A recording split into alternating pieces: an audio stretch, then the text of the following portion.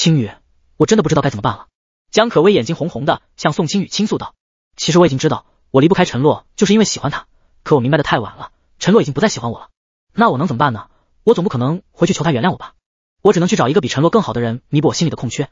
但是我找了好久，一直都没有找到。你说会不会这个世界上根本不会再有比陈洛更好的人了？”江可薇的话，宋青雨一句都没听进去。他现在自身都难保了，哪里还有心情管江可薇这些破事？他和陈洛走到今天，除了身边人的挑拨之外，他自己也占了很大一部分原因。谁让他那么听别人话的？这个世界上怎么可能没有比陈洛更好的人？陈家只是江城首富，又不是江省首富，更不是全国首富。想找到比他更好的人，你去找江省首富的儿子不就好了？宋青雨随意道，他的话虽然幼稚，但也有一定的道理。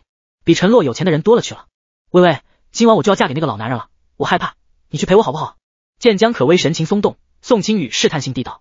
江可薇略一考虑，答应了。单纯的他还没注意到，宋青雨眼里闪过一丝阴暗。江可薇自小就被陈洛娇惯着，可以说什么活都没干过，什么苦都没吃过。这样的他根本不是宋青雨的对手，几下就被宋青雨制服，用橡皮绳捆了起来。江可薇急得大喊：“宋青雨，你要干什么？你还当我是朋友吗？你怎么可以这么对我？朋友？”宋青雨呵呵一笑：“朋友不就是拿来用的吗？现在我有麻烦了，用到你的时候到了，你就替我嫁给那个糟老头子吧。”宋青雨阴险笑道。江可薇目露绝望，眼中水雾涌出：“不，不要。不过你放心，我会通知陈洛了。”至于他会不会来，那我就不确定了。装了这么多年，我也累了。江可薇，你真以为我把你当朋友吗？你只不过是我利用的一个工具而已。我从来都不是真心对你好。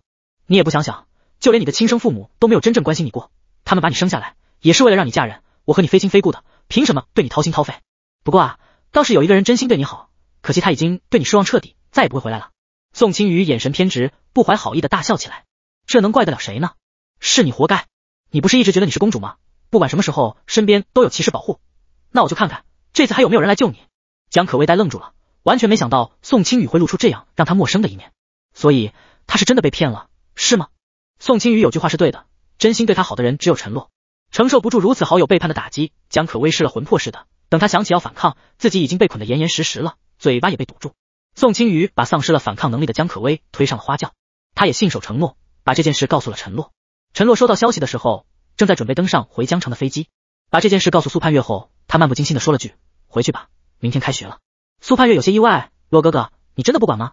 陈洛抿唇不语，良久才道：“我已经安排好了，江可薇不会有事，放心吧。我听说在西北山区拐卖妇女盛行，官方都管不了的，因为那里村民异常团结，只要是被拐进去的女人，根本没机会跑出来的。”知道苏盼月是担心自己，陈洛笑道：“但他们总不敢得罪爱琴海旅游团的人吧？爱琴海旅游业的负责人是周天小弟，我让他去接江可薇了。”爱琴海旅游业几乎养活了整个西北山区里，这些村民就指着旅游旺季赚点钱补贴家用，自然不敢和爱琴海旅游业的管理人员闹掰。苏盼月微微诧异，爱琴海旅游团的高官竟然是周天的人。嗯，陈洛点头，周天的酒水生意做得不错，做酒水缺不了人脉和资源。现在的周天早已经不是从前那个街头混子了。两人有说有笑的踏上飞机，仿佛江可薇的事对他们来说只是个无足轻重的小插曲。而另一边，江可薇被人抬到了一个满是灰尘的山洞里。在这里胆战心惊的等到天黑，一个瞎了一只眼的老人从门口爬了进来。江可薇惊恐的瞪大了眼睛，像一只受了惊吓的小猫咪。别别过来，小囡囡，你好漂亮啊！瞎眼老人面露痴色，他患有间接性精神病，不犯病时和正常人没有什么两样。他向江可薇伸出了手，别怕，快过来，过来啊！江可薇吓得背脊一僵，竟然直接被吓得晕了过去。不知道过了多久，江可薇悠悠转醒，大脑昏昏沉沉的。起初他还没搞清状况，直到突然想起自己在哪儿。吓得大声尖叫起来：“救命啊！别叫了！”一道无奈的声音响起，江可薇这才注意到，就在自己不远处坐着一个青年，正背对着他。青年转过身，嘴里叼了根烟，吐出几个烟圈后才道：“那老头被我打了一顿，早就跑了。你没事了，明早我会送你回江城。是你救了我。”江可薇声若闻啊，不全是。没听懂这三个字的意思，江可薇细细打量起眼前的青年，他长得也算清俊，手腕上戴着一块顶奢名表，在月光下散发着熠熠的光芒。大多数女孩子都会为拯救自己的人而倾心，所以才会有救命之恩无以为报，唯有以身相许的典故。想起白天宋青雨说的话，江可薇赌气般的对青年道：“既然今晚我们之间发生了这种事，那从现在开始，我们就是男女朋友的关系了。”江可薇的语气中除了赌气之外，还有几分高高在上的施舍感。在他看来，他的主动示爱就是对别人的一种施舍。毕竟这么多年来，只有别人追求他，他还没主动追求过别人呢。也正因为没有主动追求过别人，他说的话十分别扭和生硬。可谁知青年却被江可薇这话呛得不停咳嗽，脸都咳红了。喂喂喂，小姑娘，你可别乱说。今晚咱俩之间可什么都没发生。联想到这句话可能带来的种种后果，青年出了一身冷汗，又说道：“算我求你了，回去后可千万别乱说了，否则我会死无葬身之地。”江可薇不解，我只是让你做我男朋友，又没让你去死，这和让我去死有什么区别？谁不知道陈洛追求了这女孩整整九年，虽然现在两人没啥关系了，但九年的感情又岂是说磨灭就能磨灭的？陈洛可是他老大的老大，一句话就能弄死他，就算给他一百个胆子，他也不敢去泡他老大的老大的前女友啊！你你不喜欢我吗？向一个陌生男人示好，却被对方回绝了。江可薇从未经历过这种事，大脑一时有些运转不过来。不喜欢，我用双手双脚发誓，不喜欢。江可薇眼睛红了，沉默许久才道：“那你帮我一个忙总行吧？只要你好好说话，帮你十个忙都行。说吧，什么忙？”江可薇没说要帮什么忙，而是问他：“你很有钱，对吗？”“对。”“那和一个省城的首富比呢？一个小小省城的首富能有多少资产？”青年不屑道：“你这么有钱？”江可薇被青年的态度惊到了。“你到底让我帮你什么忙啊？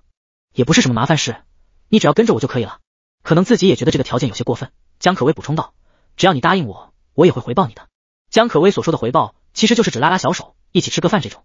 因为和陈洛在一起时，只要他做做这些微不足道的小事，陈洛就会兴奋的无以复加。江可薇还以为天底下的男的都是这样呢，他要带这个比陈洛更有背景的青年回去，哪怕只是演的，也要让陈洛知道，他离开了他，一样可以过得很好。第五十四章，陈洛是故作坚强。成，我答应你。青年略一思考，答应了。他还以为江可薇说的好处是指在陈洛面前帮他说好话，给他升职加薪呢。他当然想不到，江可薇压根就不知道是陈洛让他来的。江可薇安然无恙的离开后，宋清宇逃婚的事就被宋母发现了。宋家收了独眼老人五百块钱和三头羊的聘礼，结果却发生了这种事。不光聘礼要原封不动的还回去，他们还倒贴了五十块钱作为老人的精神损失费。宋母大骂宋清宇败家，把他推到屋子里，不分头脸的暴打了一顿。痛到神志不清的时候，宋清宇又想起了自己上学时的日子。那个时候他没有生病，没有被逼着嫁人，不必为吃穿用度而操心，每日只需按部就班的上学。每个月都会有一大笔资助款打在他的卡上，和现在相比，那时的他是活在天堂中啊！可他偏偏不肯满足，非要去争抢不属于他的东西。他把自己看得太高，忘了是谁救他出大山，带他来到繁华的都市，过上正常人该过的生活。落到今天这种地步，都是他自己的选择。打累了，宋母停下手，喘着粗气道：“从明天开始，你就跟你爸一起去推车，我们家可养不起闲人。”推车，宋清雨无声的流着眼泪。在以前，他连上下学都有豪车接送，可现在竟然要去推车吗？宋母懒得管女儿什么心情，骂骂咧咧的往外走。另一边，开学后，清河高中的学生们又恢复了和往常一样的平淡生活。不过，大家在课后聊天时却多了一样谈资，那就是秦旭和宋清宇的双双退学。说起来也让人觉得好笑，这曾经是情侣的两个人，竟然都是假扮的富二代。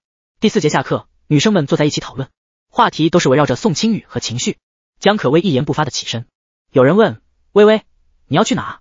我男朋友来接我了，我和他一起出去吃饭。这话一出。女生们激动的蹦了起来。什么？你有男朋友了？你男朋友是谁啊？哪班的？江可微微微一笑，矜持道：“是校外的。”几个女生一听更好奇了，纷纷过来拉住江可微：“微微，你能不能带我们去看看啊？一定是个大帅哥吧？微微的男朋友一定很帅。”江可微没有急着回答，而是有意无意的瞥向靠着墙边坐着的陈洛，她想从陈洛脸上看出一些情绪，想知道他在得知自己有了男朋友之后会是什么表情。这还是她第一次公开承认自己有男朋友了呢，哪怕是和许毅，她都没有口头上承认过。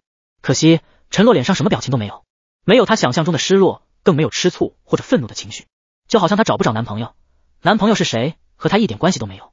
陈洛实在太冷静了，冷静到让江可薇觉得她就是装的。毕竟哪怕是普通同学，都会对她的男朋友是谁感到好奇。陈洛可是和她在一起整整九年，听到这个消息后，怎么会一点反应都没有？江可薇轻轻哼了一声，她倒要看看。陈洛的故作坚强能装多久？可以啊，我让他放学来接我。啊，真的吗？那太好了，微微，正好我有些书要搬，但是太重了，我搬不动，可以请你男朋友帮帮我吗？完事之后，我请你们吃饭。学伟、周杰走到江可薇身边道：“好啊。”江可薇答应了。谢谢你，微微，你太好了。江可薇又看了陈洛一眼，发现对方还是那副不冷不热的样子。放学，周杰抱着一堆书站在教学楼下，另外几个女生站在不远处的操场边上，都在等着见见江可薇的这位男朋友。收到江可薇的消息后，韩子航立马就动了身，但他心里已经有了些许的不耐烦，说是要他帮个忙，却一直不说到底是什么忙。要不是看在陈洛的面子上，他才懒得陪这个小女生玩。酒吧里那么多比他还正点的小妞儿等着呢。韩子航到了的时候，包括周杰在内的所有女生都兴奋起来。哇，微微的男朋友好帅哦！他手臂上的图案是纹身吗？我还只在电视里见过呢。他看起来好像黑帮老大哦，没想到微微竟然有这样的男朋友。韩子航梳着寸头，穿着白色背心，健硕的手臂上纹着纹身，和青春期的少男少女相比，他身上带着他们没有的野性。见韩子航真来了，江可薇舒了口气，同时心里升起一股得意感。他不着痕迹的回头看了看，正如他预料的那般，陈洛就站在那里，目光深沉的看着他。果然还是来了吗？江可薇露出甜美笑容，上前主动挽住了韩子航的手臂。你来了。韩子航被江可薇这举动吓得一激灵，有话好说，别动手。江可薇靠近他，小声道：“你不是答应我了？”要帮我做一件吗？那你倒是说要我帮你什么呀？我要你假扮我男朋友。什么？韩子航头都要炸了，自己也彻底明白过来，为什么陈洛和江可薇分手，江可薇却来找他假扮他的男朋友，就是因为江可薇想借他来刺激陈洛呀。不管这两人能不能和好，倒霉的可都是他。就算陈洛不和他一般见识，周天也不会放过他。自从选择跟随周天后，他可没少听他这个老大提起陈洛，也不止一次告诉过他们，陈洛不能惹。据说曾经有个不长眼的人调戏了陈洛的女朋友，结果第二天就死了。警察来了都没把陈洛怎么样，他还没活够，可不想死啊！见韩子航不说话，江可薇还以为他是默认了，立即对不远处的周杰招了招手。周杰跑过来和韩子航打了个招呼：“我是微微的好朋友，能不能请你帮我搬一下书啊？搬完书我会请你们吃饭作为感谢的。”第五十五章，又帅又有钱的哪能看上他？搬书好说，但我必须要郑重的声明一下，怕站在远处的其他女生听不见。韩子航故意清了清嗓子：“我和你同学可一点关系都没有，我不是他男朋友，他也不是我女朋友，懂吗？”啊！周杰看看江可薇，又看看韩子航，彻底懵了。你真不是微微男朋友？那你们是什么关系？朋友？江可薇可是陈洛的前女友，韩子航巴不得和他划清界限，绝对不是朋友，也算不上，就是碰巧遇到了而已。我这个人比较热心肠，别人找我帮忙，我都不会拒绝，真不是你们想象的那样啊！江可薇脸色骤变，瞬间觉得无地自容起来。同学们投射过来的目光让他脸上火辣辣的，只恨不能挖个地洞把自己藏起来。他没想到韩子航会这么不给他面子，竟然当众否定了两人的关系。原来这个小哥哥不是你男朋友啊？那你为什么骗我们说他是你男朋友？周杰问江可薇。江可薇倍感羞臊，根本解释不出一个字来。他原本以为韩子航会很开心的答应他的，没想到你是个大骗子。这些书我还是自己搬吧。真是的。周杰愤愤道。周围看热闹的女生也窃窃私语起来。江可薇也太自恋了吧？他该不会以为只要是个男的就喜欢他吧？就是比他漂亮的女孩子多的去了，他真以为他是苏妲己？人家都说了，和他根本都不熟，连普通朋友都算不上。他是怎么好意思说出那些话的？你们没看江可薇中午时那副炫耀的样子，说什么她男朋友多么多么有钱，长得多么多么帅，可又帅又有钱的哪能看上他啊？江可薇用力咬着唇瓣，感觉自己浑身上下都要燃烧起来一般。那些话就像一把把刀子，狠狠刺入了他的心脏。有一瞬间，江可薇甚至都觉得自己没有脸再面对这些人了。说清楚后，韩子航也松了口气。恰在这时，韩子航忽然嗅到了一股清新的香气，转头一看，一抹倩影恰好从他身边走过。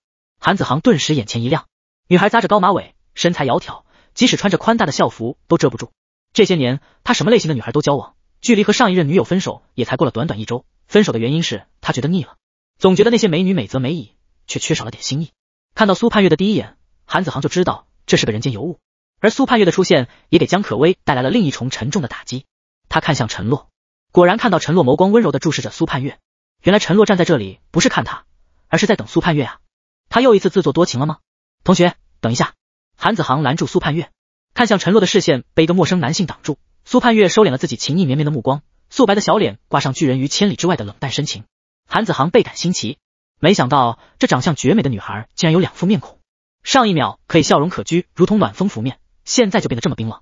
不过这两副样子都很美呢，别怕，我不会伤害你的。韩子航笑容轻佻，顶多就是和你睡一晚。和周天混了那么久，韩子航当然不会是什么好人，对他来说，女人就是拿来玩的。他不会因为苏盼月长得好看就对她特别，顶多就是想和他上床的心情更迫切一些而已。苏盼月俏脸冰寒，冷冷吐出了一个字：滚。此时的苏盼月神情冰冷，眼神淡漠，就像一个女王，这副模样更是勾起了韩子航的兴趣。他直接上手拉住苏盼月，别客气，咱们现在就去玩点好玩的。苏盼月抬手躲开，啪的一声，狠狠打了韩子航一个耳光，雪白的脸蛋覆盖上一丝愠怒神情。看热闹的人都被吓了一大跳，虽然他们不知道韩子航的身份，但闻着花臂的校外人员哪会是好惹的？谁都没想到苏盼月胆子这么大，竟然敢打韩子航的耳光。微微，你男朋友不对，这个人是不是很不好惹啊？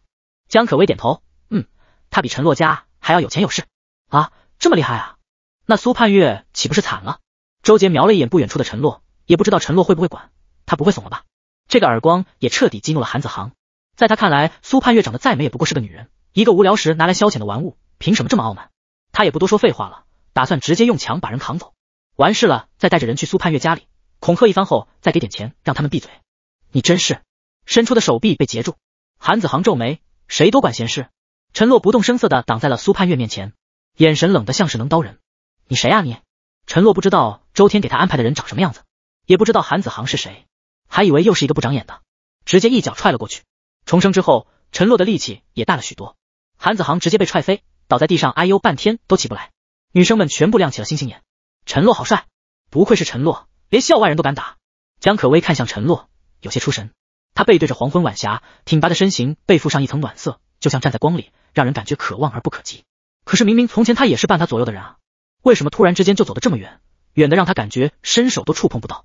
韩子航咬牙切齿的从地上站了起来。身为周天身边的打手，他也很能打，高手过招一招就能分出胜负。刚刚陈洛这记狠辣无比的侧踢，已经让他认识到两人的差距。他不是这人的对手，没想到一个高中生竟然有这种身手，看来他遇到硬茬了呀！这口气怎么能轻易咽下？他一定要这小子付出惨痛的代价。第五十六章，向陈洛证明他比苏盼月更好。有种你就给我等着，我不会放过你的。韩子航撂下一句狠话，陈洛毫不在意，笑着对苏盼月道：“听说校门口新开了一家面馆，我们去尝尝。”好啊！苏盼月又回到了从前那副小鸟依人的可人模样，和陈洛一起旁若无人的出了校门。周杰还有些惊魂未定。他不会是去找人了吧？应该是吧。江可薇漫不经心道。韩子航要找人教训陈洛，和他有什么关系？要怪就怪陈洛自己，谁让他非要帮苏盼月强出头的？要是陈洛还是从前的陈洛，他不介意在韩子航面前帮他说说好话。可陈洛都这么对他了，他才不要上赶着去讨好陈洛。江可薇是觉得，虽然韩子航当众否认了和他的关系，但他毕竟在危险时候出手救了他，说明对他还是有那么一点好感的。回国的路上也一直很听他的话，又是帮他买饭，又是帮他拎包。之所以拒绝假扮她的男朋友，大概是因为他是个有原则的人吧。所以江可薇相信，只要他帮陈洛说话，韩子航一定会卖他一个面子。想了又想，江可薇还是偷偷跟了上去。他是想看到陈洛被教训，但也不希望他被打残什么的。只要陈洛愿意向他低头，他可以和他回到从前的相处模式。江可薇一直幻想着陈洛向他低头，即使他很清楚在这段感情的他才是做错了的那个人，但天生的傲慢让他放不下身段向陈洛认错。眼前不就是一个很好的让陈洛向他认错的机会吗？等陈洛被韩子航打得奄奄一息了，他再站出来，让韩子航放过陈洛，陈洛就会明白他比苏盼月更好，苏盼月不能帮他，他能。这么想着，江可薇冷静了许多，一路跟着陈洛来到了那家面馆，找了个不起眼的座位，恰好在陈洛的左下角，既能看到陈洛的一举一动，又不容易被他发现。另一边，韩子航龇牙咧嘴的找到了周天，老大，我被人打了，你可得帮我出口恶气啊！韩子航是周天的左膀右臂，对这个手下周天一直很重视。被人打了？被谁打了？是一个高中生。韩子航捂着肚子，断断续续的回忆：我今天送陈老大的前女友回清河高中，恰好碰到了一个长得很正的小妞，我就想约她出去玩一玩，没想到被她男朋友听见了，二话不说就给了我一脚。那小子力气真他妈大，踹得我现在还疼呢。周天表情复杂，人家都有男朋友了，你还约人家出去玩？就是玩一玩而已嘛。我找到漂亮妞了，也会分给兄弟们玩啊。老大，你说我找的哪个女朋友没给兄弟们分享过？那小子也忒小气了。短暂的沉默过后，周天开口道：不管怎么样，我的人不能让别人欺负了。不然传出去我还怎么混？喊几个能打的兄弟，我跟你一起会会这小子。双拳难敌四手，那小子再能打也打不过我们人多势众啊！韩子航觉得自己一定稳赢。走之前，他也听到了陈洛说要去面馆的话。一群人拿着钢管，浩浩荡荡的冲到了面馆。韩子航冲在前头，一身煞气。门店前的行人见了，纷纷退让。周天在江城行事不算低调，不少人已经认出了他。那个不是周天吗？他怎么来了？还带了这么多人？肯定是有人不小心得罪周天了呗。看周天这架势。今天这个人怕是要遭殃了。来这面馆吃面的都是学生，哪个高中生胆子这么大，连周天都敢得罪？走到面馆门前，韩子航挥动钢管，两下就把面馆玻璃砸了个粉碎。一群人踏着一地的玻璃渣，大摇大摆的走了进去，气焰十分嚣张。面馆里的客人吓得连连惨叫，有的胆小的甚至抱着头钻到了桌子底下。老板也吓得面无血色，连连求饶：“有话好说，有话好说啊，千万别动手。”眨眼的功夫，店内一片狼藉，人人面露惊慌，大门被堵着。他们又不敢往外跑，更不敢拿起手机求救，万一被误认为是报警，他们就惨了。满店的人中，只有两个人神态自若的坐在桌子上吃着面，仿佛什么事也没发生一般。韩子航一眼就注意到了陈洛，仗着自己人多，拿着钢管，气势汹汹的冲了上去，对着陈洛的后背就是一击。啊！别！周天面露惊恐，想要阻止，但已经晚了。泛着寒光的钢管朝陈洛砸下，这一下，韩子航用尽了全身的力气，万一被砸中，非死即残。短短几秒的功夫。周天已经出了一头的冷汗，也正是在这几秒的短暂时间内，陈洛用旁人看不清的速度，迅速拿起了插桶里的一根筷子，准确的射向韩子航的手腕，手腕被击中，韩子航惨叫一声，灰溜溜的回到了周天身边。老大，这小子还挺厉害，竟然会玩飞镖，让兄弟们一起上吧！我上你妈！周天都要气疯了，韩子航活够了，他还没活够呢。怒气上头，他也一脚踢了过去。你是不知道这人是谁啊？你自己活腻歪了，别拖老子下水！这一脚又踹在了韩子航的腹部，可怜他就伤未愈，又添新伤，趴在地上无论如何都起不来。谁？老大，他到底是谁啊？心有余悸的看向陈洛，确定对方没事后，他才大松了口气。其实周天也没想到陈洛身手这么好。据他所知，陈洛不到一年前还是个大胖子，短时间内迅速瘦下来，一定会亏气亏血，不比常人虚弱就是好事了。怎么还会这么能打？也幸亏陈洛能打，否则他就要被韩子航这小子害惨了。刚开始做酒水生意的时候，周天还有些犹豫，不知道自己能不能在这行闯出名堂来。直到酒水价格激涨，他才知道自己的目光有多短浅，也知道陈洛有多深不可测。陈洛随便一句话就能改变他的命运，让他从地痞流氓成为商业大佬。同样呢，也能一句话就把他从云端拉下来。第五十七章，救他的人是陈洛。老大，他到底是谁啊？韩子航爬到周天身边，胆战心惊的问。周天没理他，而是走过去，弯腰询问陈洛：“陈洛少爷，您没事吧？”陈洛帮苏盼月盛了碗面，若无其事的问他：“好吃吗？”少女眉眼弯弯，笑容清甜：“好吃。”越是这样，周天心里越是没底，回头给韩子航使了个眼色。韩子航此时也是一个头两个大，他哪里想到自己会这么倒霉，随便找了个女的，就是他老大的女朋友啊！韩子航战战兢兢的上前：“陈少爷，我时间不早了，我送你回家。”陈洛牵起苏盼月的手，苏盼月也回握住他，两人一起走出面馆，只留下一地的狼藉和心怀忐忑的众人。老大。韩子航六神无主的问周天，对此，周天表示：“你完了，你还记得我之前跟你说的那个周文武吗？记得啊，周文武调戏的那个女的，不会就是……”韩子航都要哭了，就是他。周天拍了拍韩子航的肩膀，给了他一个保重的眼神。韩子航彻底妈了，他还以为周文武调戏的人是江可薇呢，没想到闹了一个这么大的乌龙。所以现在他该怎么补救？愣着干什么？快点帮人收拾一下！没听见陈少爷说这家面馆的面好吃？马上马上马上收拾！看到陈洛就这么走了。留下的一群小弟还态度大变，不仅围观的人感到震惊，江可薇同样觉得不可思议。他认识的陈洛的时候，陈洛就是个大胖子，每次体育考试都是倒数第一。他什么时候身手那么厉害了？竟然轻松就可以挡住韩子航的全力一击。韩子航，江可薇叫住正给面馆装玻璃的韩子航，韩子航没搭理他。现在他看到江可薇就来气，如果不是遇到江可薇，他哪会这么倒霉？叫我干嘛？你们为什么这么怕陈洛啊？陈少爷是我老大，我当然怕他了。什么？江可薇更加不可思议，你不是说一个省城的首富在你眼里不算什么吗？那你为什么还认陈洛做老大？韩子航用看智障的眼神看了江可薇几眼，你以为陈家只是省城首富？不然呢？到现在，韩子航也看出来了，陈洛对江可薇压根都没有多少在意，最起码是远远比不上刚才和他一起吃饭的那个女孩的，不然怎么会连自己的底细都瞒着他？想到这一层，韩子航对江可薇的态度也有了微妙的变化。陈家当然不会只是一个江城首富。韩子航上下打量江可薇几眼。你和陈少爷闹矛盾了是吧？算是吧。那我劝你还是快点想办法和陈少重修就好吧，不然再晚一点，你的位子可要被别人占了。韩子航揶揄道：“有权有势的人身边怎么会缺漂亮女人？”但这句话却惹怒了江可薇，他怎么可能向陈洛低头？要你多管闲事？行行行，我不多管闲事。那你以后有事也别找我，尤其是假扮你男朋友这种愚蠢至极的事情。小姑娘，听我一句劝吧，感情的事不是说你想怎么样就能怎么样。既然陈少心里还有你，你也就别计较太多，回到他身边吧。你怎么知道陈洛心里还有我？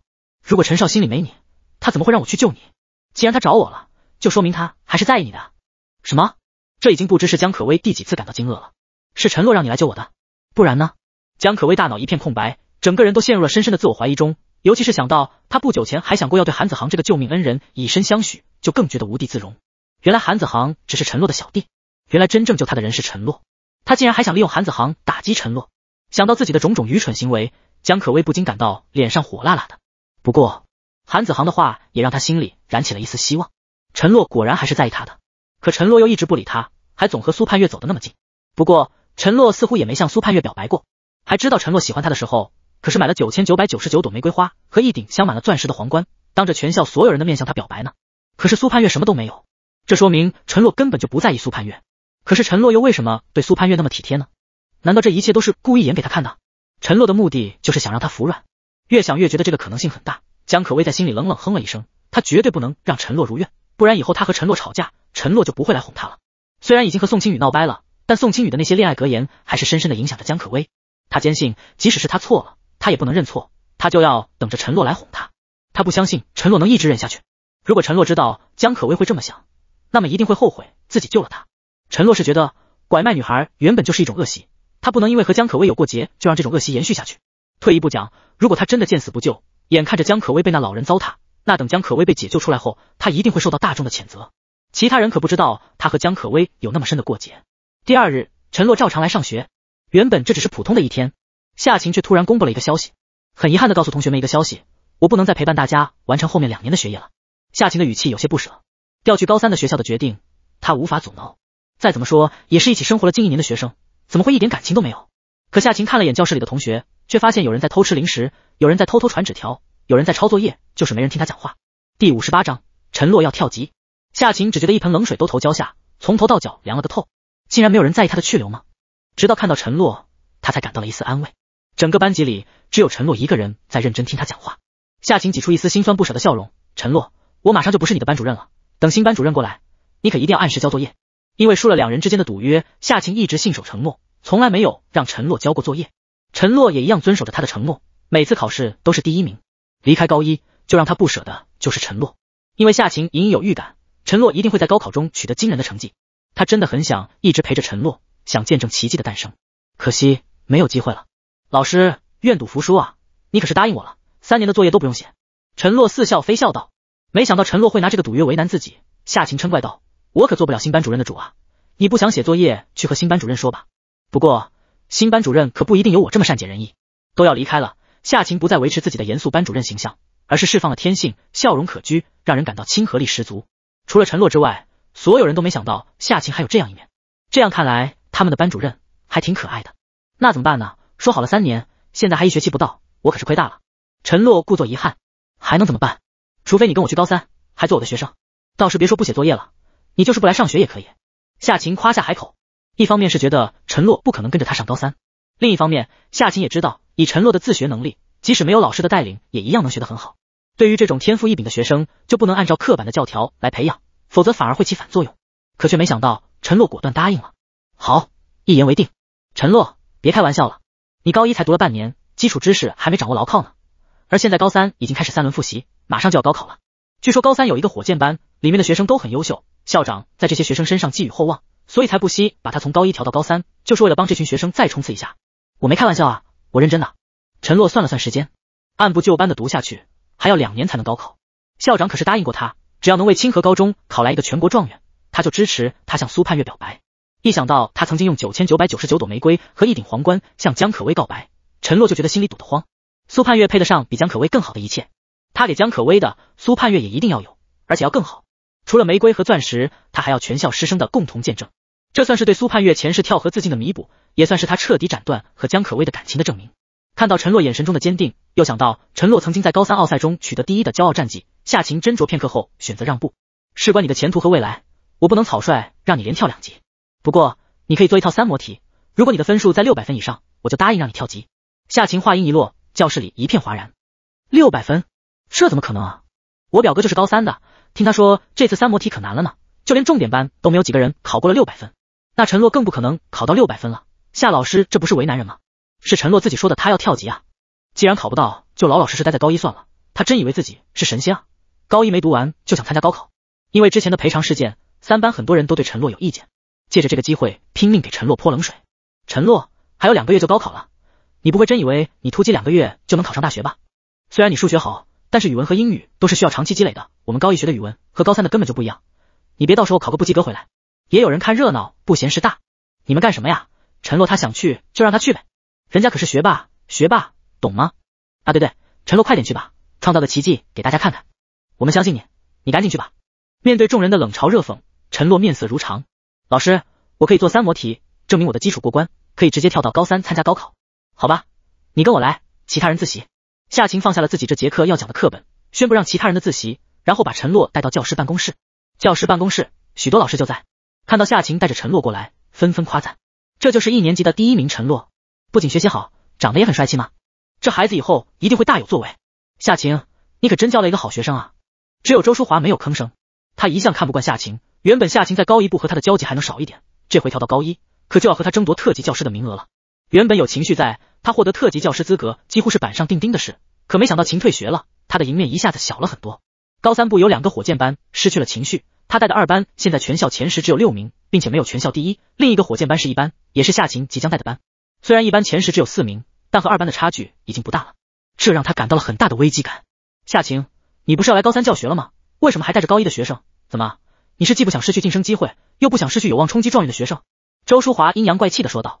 这话说的尖酸无比，夏晴也早已习惯了，闻言只是淡淡一笑。周老师说的对，我确实不想失去一个有望冲击状元的学生。这不才把他带来，让他做下三模考题，看看能不能直接从高一跳到高三。第五十九章，提前答高考模拟题。什么？跳级？做三模题？夏晴，你是在开玩笑吗？周淑华尖着嗓子嘲讽。今年的三模题难度比往年都要高，全校只有两个学生考到了六百分。你觉得一个高一都只读半年的学生能考到多少分？陈洛，我知道你学习好，但学习需要踏踏实实，不能太好高骛远，否则你迟早会后悔的。夏晴已经从抽屉里拿出了一套三模题。陈洛既然都能在高三奥赛中取得那么好的成绩，我觉得可以让他试着做做高考题。毕竟人和人是不一样的，别人做不到不代表陈洛做不到。虽然夏晴心里也没底，但还是给了陈洛绝对的信任。既然陈洛想要尝试，他能做的也只有信任。周淑华却不屑地翻了个白眼。竞赛题和高考题是两种模式，陈洛竞赛很厉害，那肯定的，因为他家人从小把他往这方面培养嘛。语文、英语、生物，高中三年这些科目中需要背诵的知识点非常庞大，想要在短时间内掌握，除非他是个天才。老师。如果这套题我不能答出七百分以上的分数，那我就继续留在高一。陈洛接过卷子，冷静的对夏晴说道。这句话也是对周淑华无形中的挑衅。周淑华像是听了什么大笑话似的，直接笑出了声，扭头看向教室里的其他老师，讥讽道：“七百分？我没听错吧？他要考七百分？”其他老师也纷纷摇头，感慨陈洛到底是年轻气盛，有点不知道天高地厚。当然，也有老师抱着怀疑态度，万一陈洛就是那个百年难得一见的天才呢？几个好事的老师已经忍不住想要求证了。陈洛。快点开始吧，你就在教室里答，我们在一旁都不出声，不会打扰你的，这样也能保证公平，确保你没有作弊。时间和高考模式一样，你答题累了可以休息，但必须要答完一个科目，单科考试中途不能中断。陈洛，你准备好了？夏晴询问道。陈洛点头，准备好了，那就开始吧。很快，一场在高三所有老师见证下的考试开始。答题刚开始，陈洛的表现就让所有老师都吃了一大惊。他的答题速度非常快，几乎是刚阅读完题干就能迅速写出答案。毕竟不是正规考试，陈洛的答题顺序很随意。他最先选择的是数学，选择填空还好说，可到后面的答题，陈洛也是笔走如飞，毫不停顿。题目已经答了一大半，旁边的演算纸还是一片空白。遇到复杂一点的题目，陈洛也只是用圆珠笔随意的在卷面上勾画两笔，大量复杂的运算竟全部用心算。只是因为没有答完题，老师们也不知道陈洛心算出来的准确率如何。如果真的能保证很高的正确率，那陈洛绝对是个天才。更令人震惊的是，一整套数学卷子。陈洛竟然只用了三十分钟就做完了，这已经超出人类极限的速度，让在场的老师们目瞪口呆。正因为陈洛的速度太不可思议了，在场的老师不禁开始怀疑陈洛根本就是在胡乱写。周淑华更是忙着给陈洛泼冷水，这套题计算量很大，按照正常速度，半个小时绝对答不完，一看就是乱写的。行了行了，别答了，没那么多时间在这陪你一起浪费。周淑华一脸的不耐烦，觉得陈洛就是浪费所有老师的时间，甚至还想上前抽走陈洛的试卷，被夏晴抢先一步挡住。周老师为人师表，就该言而有信。我们已经答应承诺了，就要等他把所有题目答完。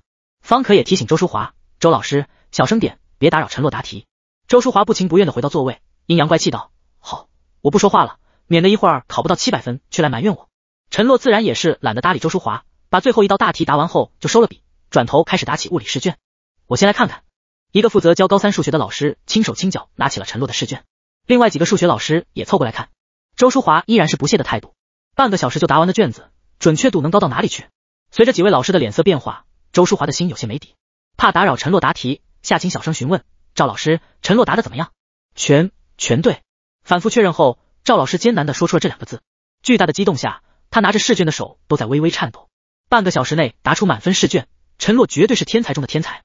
老师们也纷纷小声赞叹：“真厉害啊！这是天才，绝对的天才！”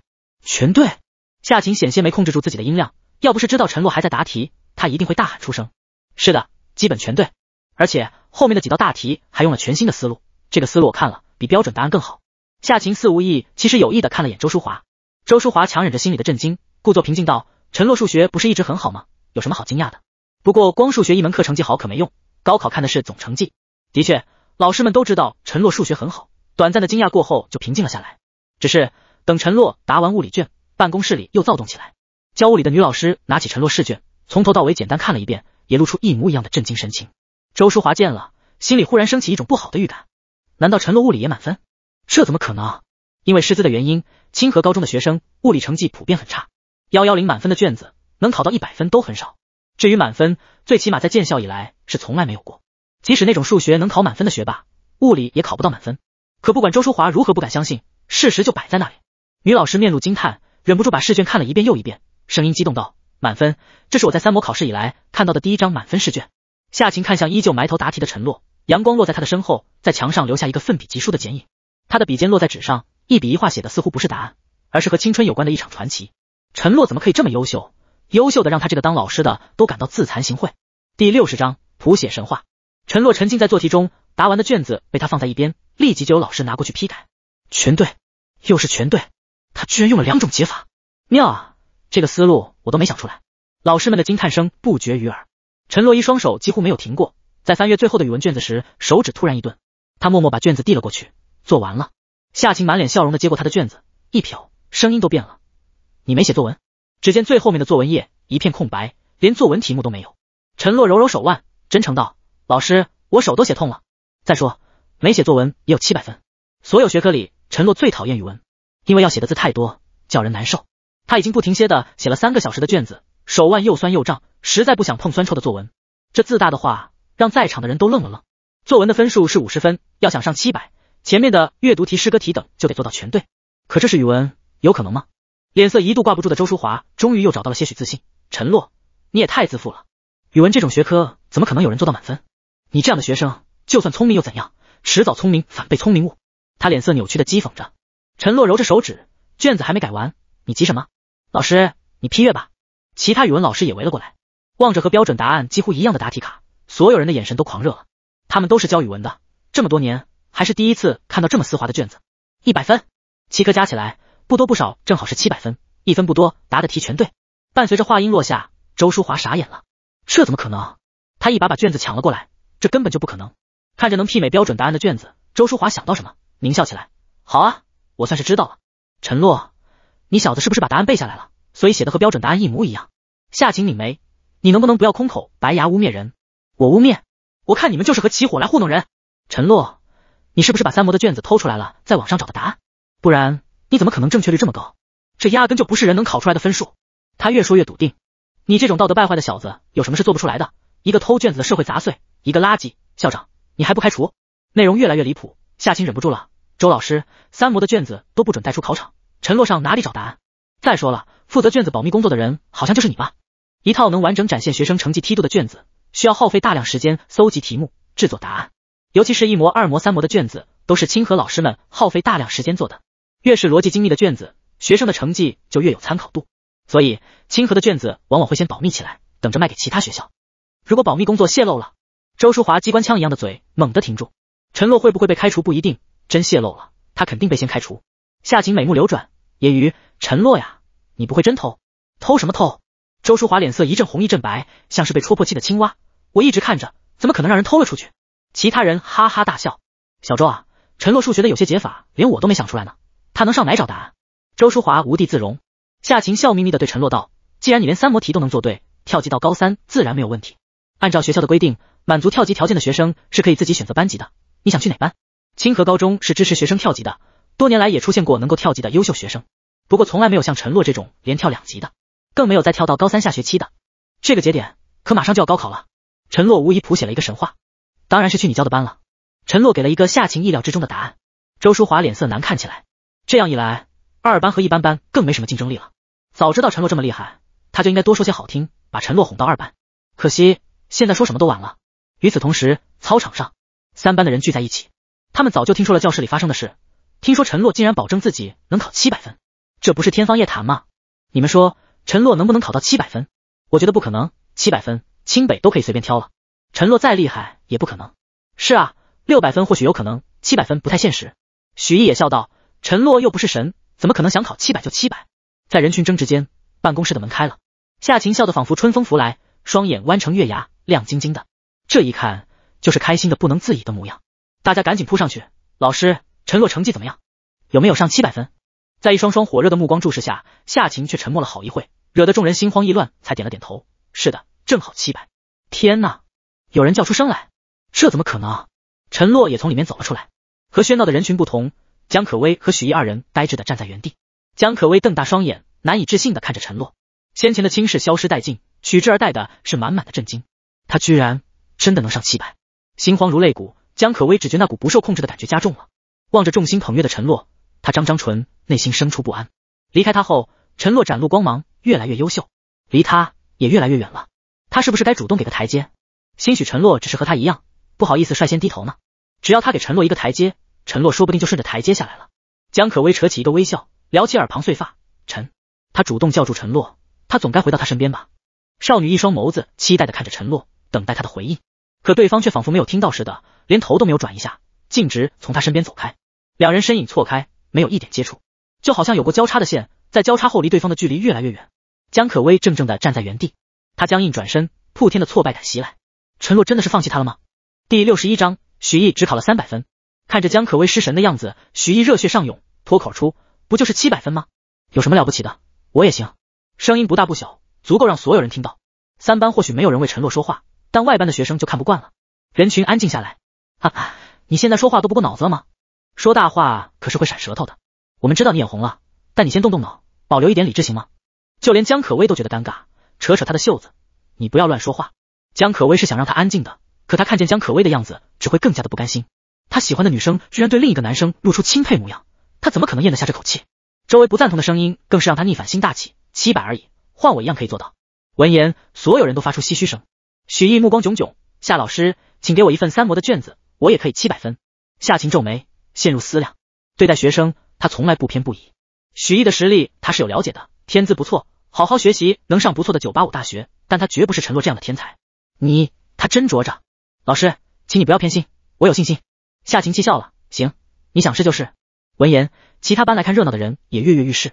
夏晴直接道：干脆高一都做一次三模的题，看看大家的实力在真正的三模面前到底扛不扛打。如果能上七百，也可以像陈洛一样去高三。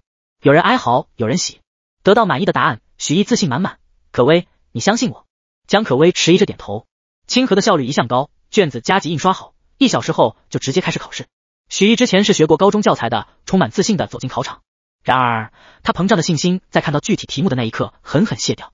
第一科是语文，可是连开头的选择题都让他犯了难。想着自己夸下的海口，许毅硬着头皮选答案。考场中已经有人开始叹气，有人做不出题。气得倒头睡觉，也有人气呼呼的用笔霍霍纸张。人一旦焦虑，周围的各种声响都会变大。许毅思绪乱飞，明明题目中的每个字都认识，可组合在一起就是让他不认识了。加急考试不像寻常考试一样有足够时间休息，一天考完六科，所有人都跟被抽掉了精气一样。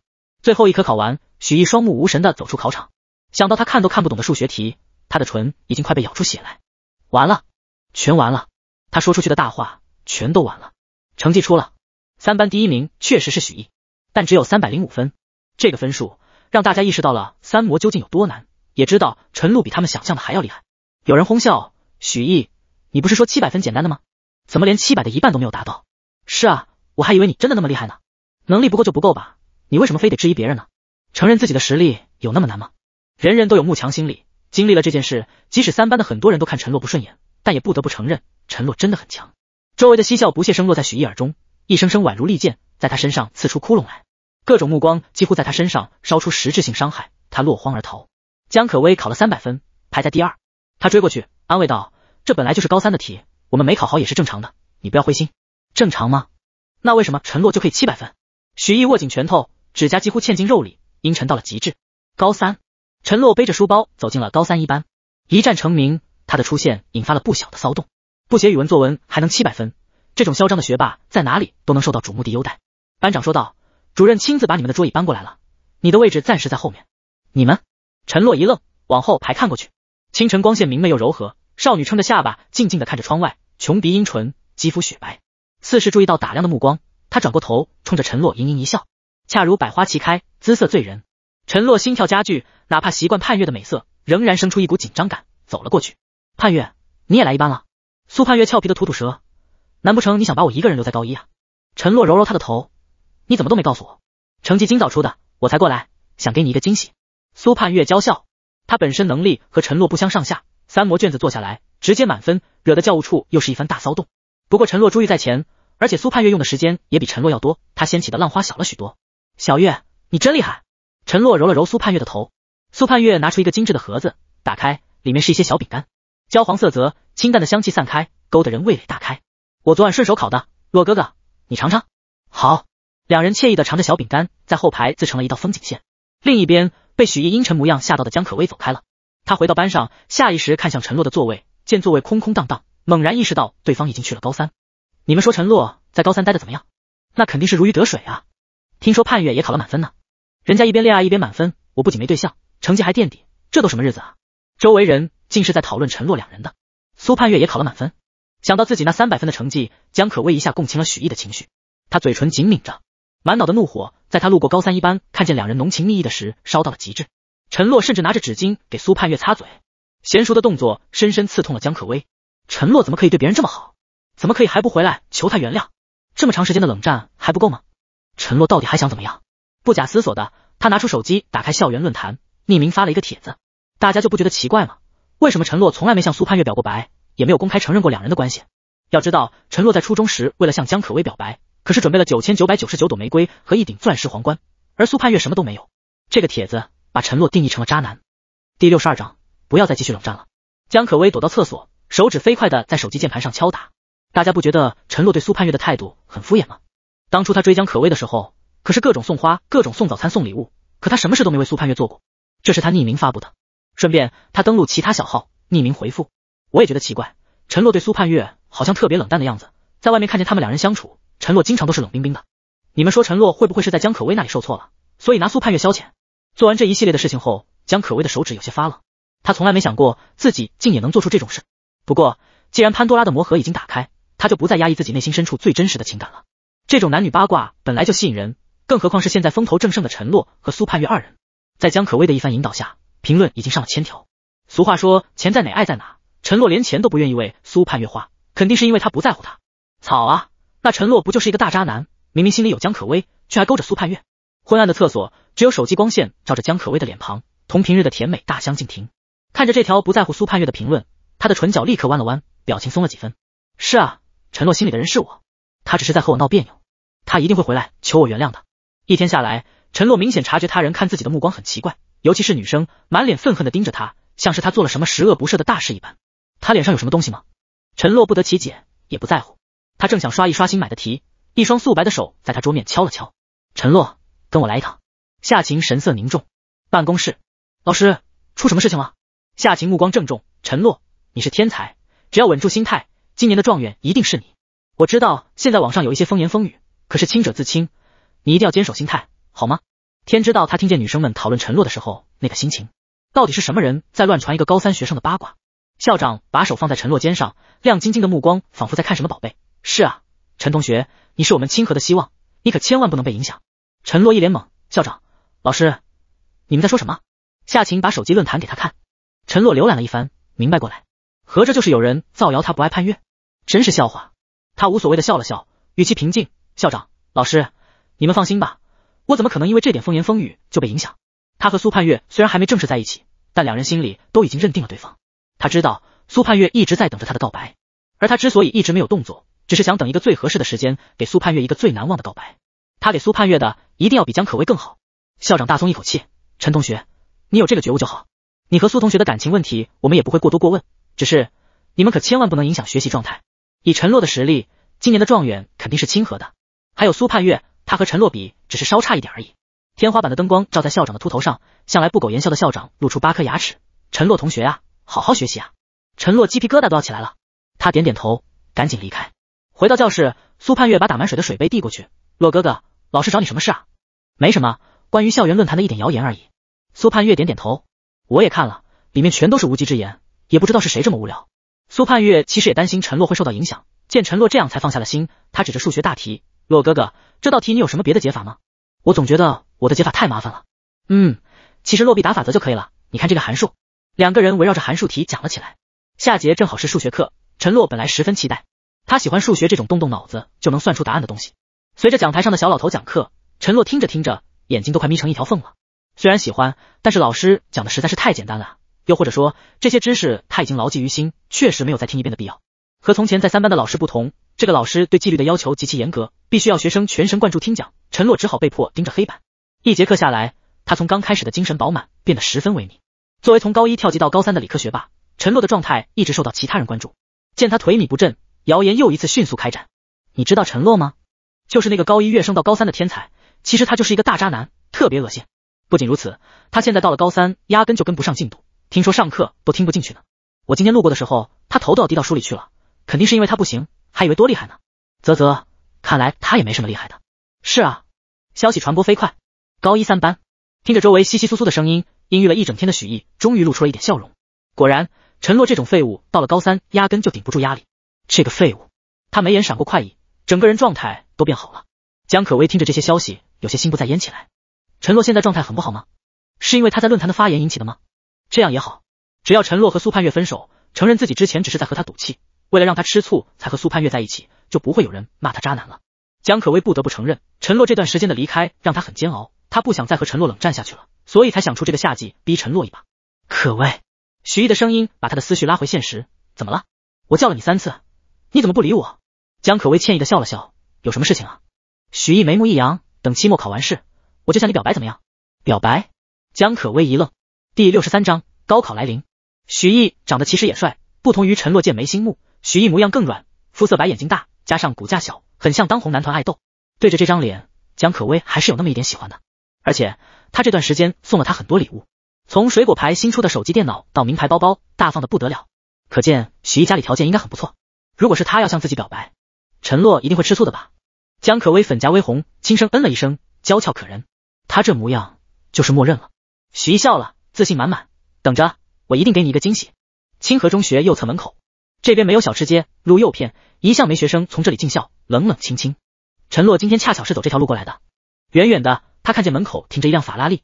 车身线条流畅，引擎声轰鸣，看外形正好是最近新出的型号，总价一千万左右。正想欣赏一下跑车，一道熟悉的身影抢先吸引了他的目光。只见许毅从副驾驶位下来，背着书包冲驾驶位挥了挥手，转身离开。许毅，陈洛眉头一皱，他家经济条件一般，怎么有机会坐这种一千万的豪车？驾驶位是一位黑发女人，车窗摇下，一张美艳的脸暴露在阳光下。女人五官浓艳，眼神犀利，正是柳如烟。柳如烟目视许毅尽笑。脸上挂着浅淡笑意，柔和了气质的冷漠。这是冷冰冰的柳如烟。陈洛挑了挑眉，他想起来了，这段时间许毅招摇的很，包里多了各种新款电子产品，随手几千块不在话下，还收了几个小弟，吃穿用度和以前大不相同。看这个架势，柳会长。陈洛站在车边，什么事？你这是包养了许毅？柳如烟冷漠的脸色有了那么一丝裂痕，他匪夷所思的盯着陈洛，半晌嗤笑，关你什么事？他像是需要包养高中生的人，他年轻漂亮。什么男人找不到需要包养毛都没长齐的高中生？笑话！他冷冷瞥了陈洛一眼，关上车窗，留给陈洛一个车屁股。这是默认了。陈洛挑挑眉，许毅居然还有这本事，倒真是小看他了。他身后不远处是怒不可遏的江可薇。今天在路上看到陈洛，他不受控制的循着他的背影走，隔着远远的距离。在门口时，他没看见许毅，只听见了陈洛问的问题：是否包养了许毅？这是人能问出的问题吗？他冲了上去，望着陈洛冷冷道：陈洛。你是不是见不得别人好？许毅家里最近变有钱了，才改变了消费方式。你凭什么在背后恶意猜测他？江可薇，你先冷静点。陈洛后退，冷静。江可薇快气死了。这些天他已经发现自己其实还是有那么一点喜欢陈洛的。他试图示好，可陈洛总是冷冰冰的面对他。再加上陈洛对许毅的猜测，让他觉得陈洛这是质疑他的眼光。毕竟清河所有人都知道他和许毅关系不一般，各种繁杂的情绪交织，他怨气极深。你明知道许毅和我的关系，还这么想他，不就是？声音突然卡壳，像是被按了暂停键一般。陈洛明知道许毅和他的关系，还这么说。咚咚咚，心跳突然加快起来。江可薇脸上的怒色一扫而空。陈洛心里果然有他，眼中的怒意褪去，先是茫然，紧接着语气揶揄：“陈洛，你心里到底是怎么想的呢？”心中暗想：陈洛，你要是喜欢我，可要抓紧了，不然我就答应许毅。而两人的不远处，苏盼月正亭亭的站在那里，一身校服，身材高挑纤细，漂亮又扎眼，吸引了周围一片目光。江可薇很快也注意到了苏盼月，脸上神情一凝。虽然她也漂亮，但她只能算是小家碧玉，而苏盼月却是明艳动人。站在一起，她常常被比了下去。不过想到陈洛的态度，江可薇心里又顺畅起来。任凭苏盼月再好看，陈洛心里那个人不都是他吗？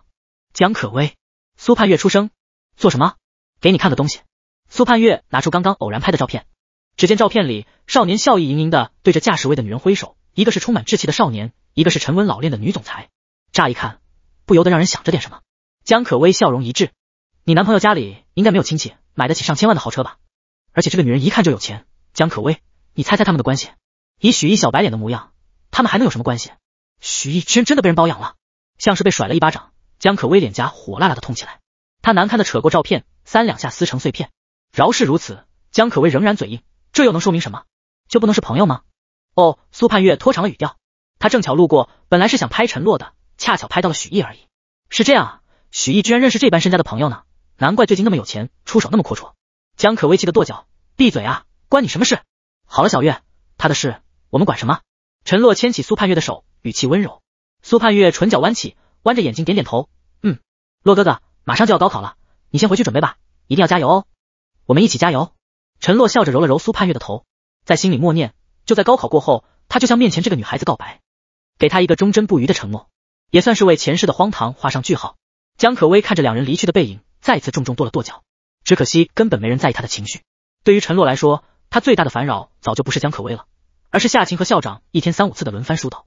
他们总觉得陈洛的状态受到了影响，希望陈洛能稳住。尤其是上课时，那位数学老师两次突击提问，陈洛没有答上来，夏晴更是觉得他有问题。但其实那位老师问的问题是他讲到哪里了？压根没听课的陈洛自然答不上来，这件事传出去就成了陈洛跟不上高三进度，连老师提问都答不上来。陈洛也不好意思和夏晴说是老师的问题，只能以身体不舒服为由躲进了家里。反正距离高考只有最后一周的时间，高考结束，一切都见分晓了。回到家后，陈洛专心复习，虽然高中的知识点已经被他牢牢掌握，但为了不出差错，他还是从头到尾复习了一遍。很快，高考来临了。第六十四章高考满分。很快到了高考前夕，整个高三充斥着紧张气息，个个争分夺秒。买手书籍之中，都想在高考前多看一眼，说不定能碰到考题。在这个紧张的节骨眼上，陈洛感冒了，嗨嗨，他捂住口鼻，咳得上身都在抖。苏盼月紧张的给他拍背，洛哥哥，你感冒了，吃药没有？吃了。见苏盼月一脸担忧，他揉揉他的脑袋，放心吧，我没事的。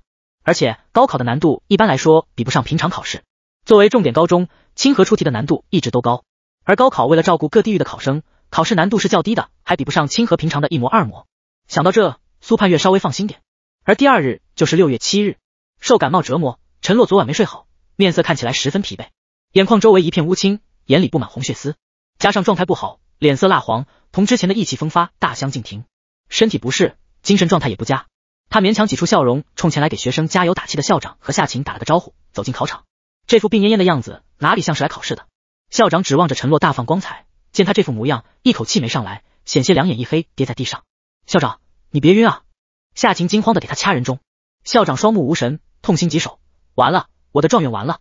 他期待已久的状元，在高考这天顶着个要死不活的样子走进考场，能不能坚持完考试都是个问题。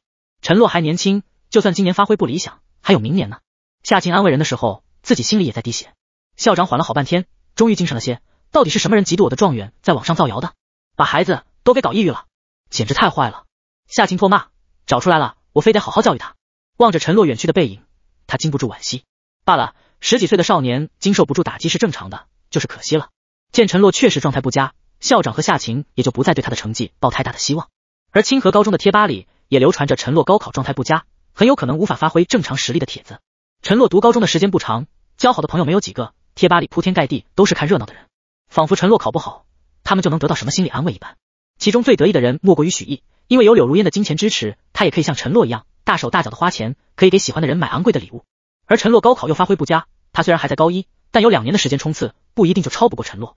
他和陈洛的差距在逐渐减小，在所有人不看好中，一晃半个月过去，高考成绩出来了。陈洛没有急着查成绩，因为他已经知道自己考多少分了，压根没有查的必要。今年的高考比他想象的还要简单许多，以他的知识储备量，完全可以应对。他考满分的消息是苏盼月告诉他的。一大早，苏盼月就打来了电话：“洛哥哥，恭喜你！”你考了满分，少女的语气中满满都是欣喜与骄傲，好像知道陈洛考了满分比他自己考了满分还要高兴。七百四十八分，你也很厉害啊，小月。陈洛笑道：“那也没有洛哥哥厉害。高考是高中三年里唯一一场不排名的考试，学生们的成绩一般都会在几天之后才公布。苏盼月也是因为知道陈洛的准考证号才能查到他的成绩，其他人还不知道这个好消息。亲眼见到陈洛状态不佳，夏晴本来就不抱什么希望，也没想着去查一下陈洛的成绩，只是担心陈洛想不开，专门给他打电话。陈洛。”我知道你今年高考的精神不好，影响你答题，但你年纪还小，千万不能做傻事。复读的人都那么多，你就算再来一年高三，老师，陈洛中断他的安慰，疑惑，你为什么会觉得我要再来一年高三？嗯，你高考的时候被网上的谣言影响了，一副没精神的样子，肯定影响你考试啊。陈洛轻笑，虽然我状态不行，但我考的也不差啊。什么？我勉勉强强考了个七百五十分。老师，沉默。十几秒过去，夏晴爆发出尖锐的叫声，向来沉稳的她激动到面色通红。你说什么？你再说一次。七百五十分，老师，你要不看看我的成绩截图？他把截图发了过去，一连串的满分，和谐到不可思议。夏晴的尖叫声音更大了，惹得陈洛都要把手机挪开点，才能勉强不被声音影响。陈洛，你太厉害了，我教书这么多年，还是第一次遇到了满分。满分啊，而且语文也是满分。夏晴喜极而泣，以后我逢人就说我教的学生语文考了满分。没有什么是比这个更有面子的事情了。他遇到了高考语文能考满分的学生耶。老师，那你可以同时夸一夸盼月哦，他也满分。夏晴这回更惊诧，什么？盼月这次高考除了物理扣了两分，其他也是满分。陈洛和苏盼月的成绩为清河带来了巨大的轰动，高考满分在清河的历史上都是史无前例的。两人的情侣关系以及相差无几的分数，直接成了清河史上最优秀的学霸情侣。校长乐得咧开大嘴，指挥人往学校每栋楼都挂上横幅，热烈庆祝陈洛。苏盼月高考分数七百五十分，七百四十八分。学校大门口是两人的巨幅画像以及成绩单，清河名气在两人的烘托下更上一层楼。不少家长纷纷联系学校，希望能给自己孩子提供一个学位，各种赞助投资不要钱似的往清河砸。整个学校充斥在喜悦之中。高一三班还在苦逼做题的人望着横幅，眼中生出艳羡。我也好想现在就高考完，迎接我的漫长暑假呀！受不了了，还要二十天才能放暑假。七百五十分，陈洛到底是怎么做到这样牛的？我要是能五百七十分，都是我家祖坟冒烟。还是从高一跳级过去的？妈耶，女娲不公！当初是谁说陈洛高考状态不行，肯定考不好的？害得老子开心。啊呸！是担心了好久。我就说，在咱们洛哥面前，就没有什么事情是难的。喂喂，昨晚是谁发消息跟我说陈洛一定考不好？怎么现在改口叫上洛哥了？和他们的惊叹不同，路过的许毅脸色臭到极致，盯着鲜艳的横幅，他眼里满是嫉妒和仇恨，浓到几乎要化成实质。凭什么？凭什么陈洛就可以做到这些事情？上天为什么这么不公平，给陈洛那么多优待？第六十五章，校长别忘了赌约。陈家晚餐极为丰盛，清蒸大闸蟹、佛跳墙、红烧狮子头、烤羊排，各式菜色，满满一大桌。小洛回来了呀！厨房门口，江雅笑盈盈的端着菜盘，盘里是散发热气的糖醋排骨。妈，你怎么亲自做饭了？陈洛一惊，连忙去接过他手里的菜，放在桌子上。今天可是你出成绩的好日子呢，我就亲自做了几个菜。小洛，你小子真没让我失望。就连陈炳生都难得的戴上围裙，不愧是我儿子，就是厉害。他还是我儿子呢。是是是，多亏你把孩子教育的这么优秀。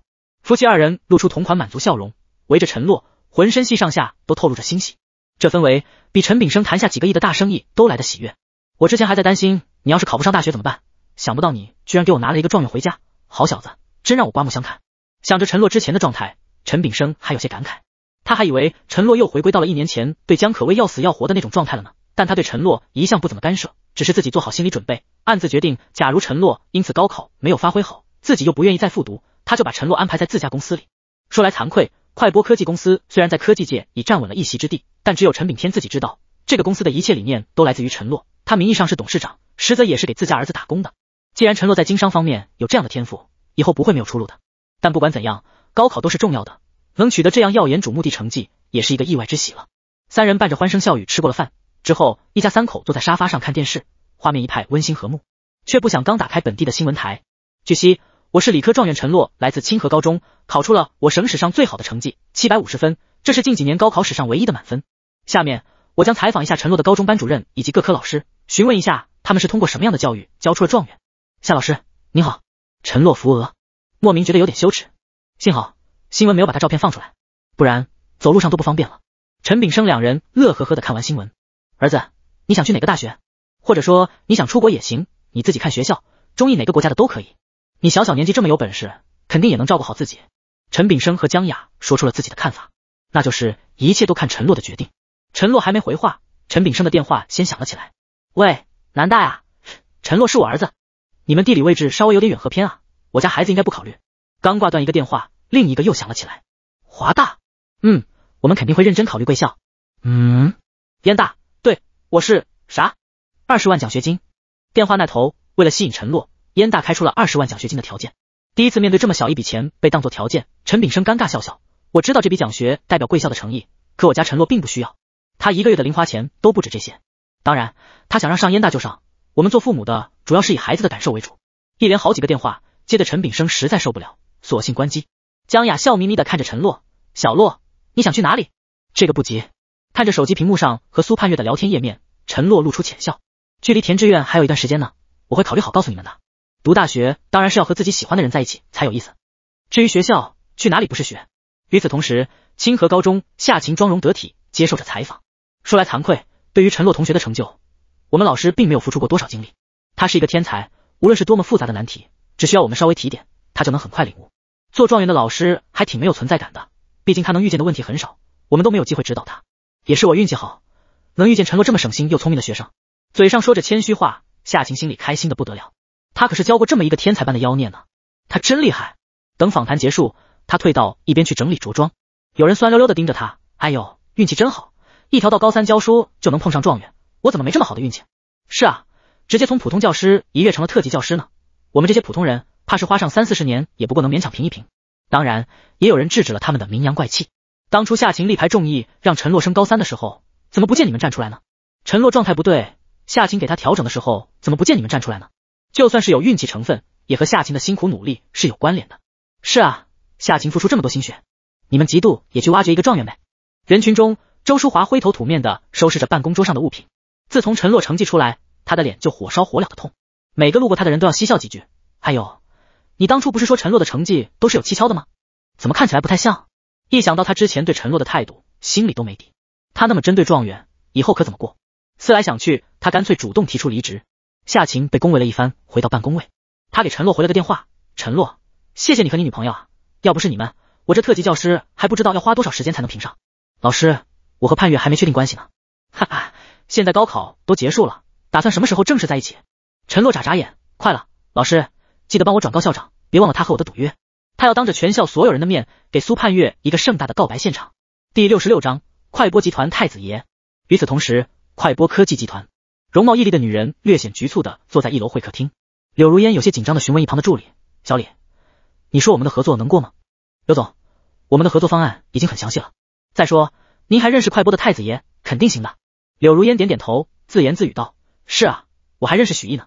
就算合作方案不太行，看在太子爷的份上，快播总不至于连这么一个小合作都驳回。”眼尖的他看见了市场部的孙经理，他赶紧走上前：“孙经理，我的那个合作，柳小姐，不好意思，啊，经过联合评估，您的方案没有达到我们的要求，不予合作。”柳如烟冷静的表情出现皲裂，她难以置信，没过。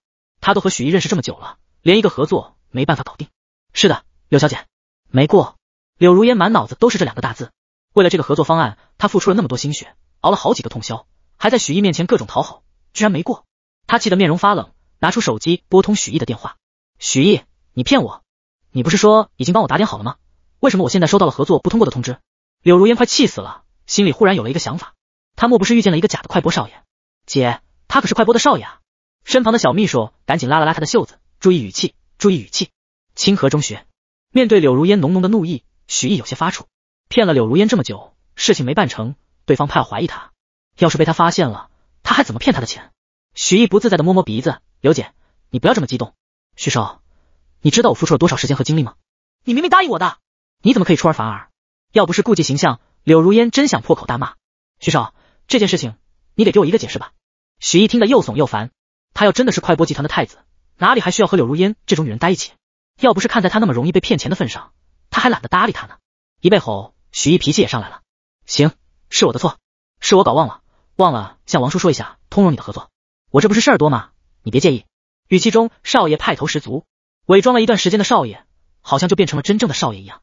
这副有底气的样子，让柳如烟稍微忌惮两分。小助理也在帮腔。是啊，姐，还有下次合作的机会。柳如烟深呼吸一口气，这对你来说只是一句话的事，可你知道对我来说影响有多大吗？请你一定务必帮帮忙，行吗？他底下还有员工等着他吃饭，还有许许多多事情等着他去做，他一定要拿到快播的合作。我知道了，下次不会再这样了。许毅无奈道：“放心吧，这种事情我说一声就能行的。对了，我老爸又限制了我的零花钱，你能不能借我点？又是钱的事情。”柳如烟留了个心眼，如果是之前，他肯定直接赚了就当打点关系。可现在合作出现问题，他已经不再信任许毅了。毕竟对方可是快播的少爷，快播少爷怎么会缺一点零花钱？这个许毅真的不是故意来骗他的吗？他没当面拒绝，嗯，行，我等会转你。这回换许毅喉咙一紧，等会才转。许毅开始心慌起来，要是被他识别他的真实身份，他上哪里再找一个免费饭票？靠，像柳如烟一样好骗的女人可不多呀。许毅不动声色的嗯了一声，挂断电话。柳如烟满腹疑惑，他打开手机，联系上了之前的侦探，直接开始质问许毅到底是不是你说的快播集团的太子爷？我怎么觉得他不太像？你要是敢骗我，我绝对不会放过你。柳如烟眼中闪过一抹厉色，要是许毅在骗他，他的钱也不是那么好拿的。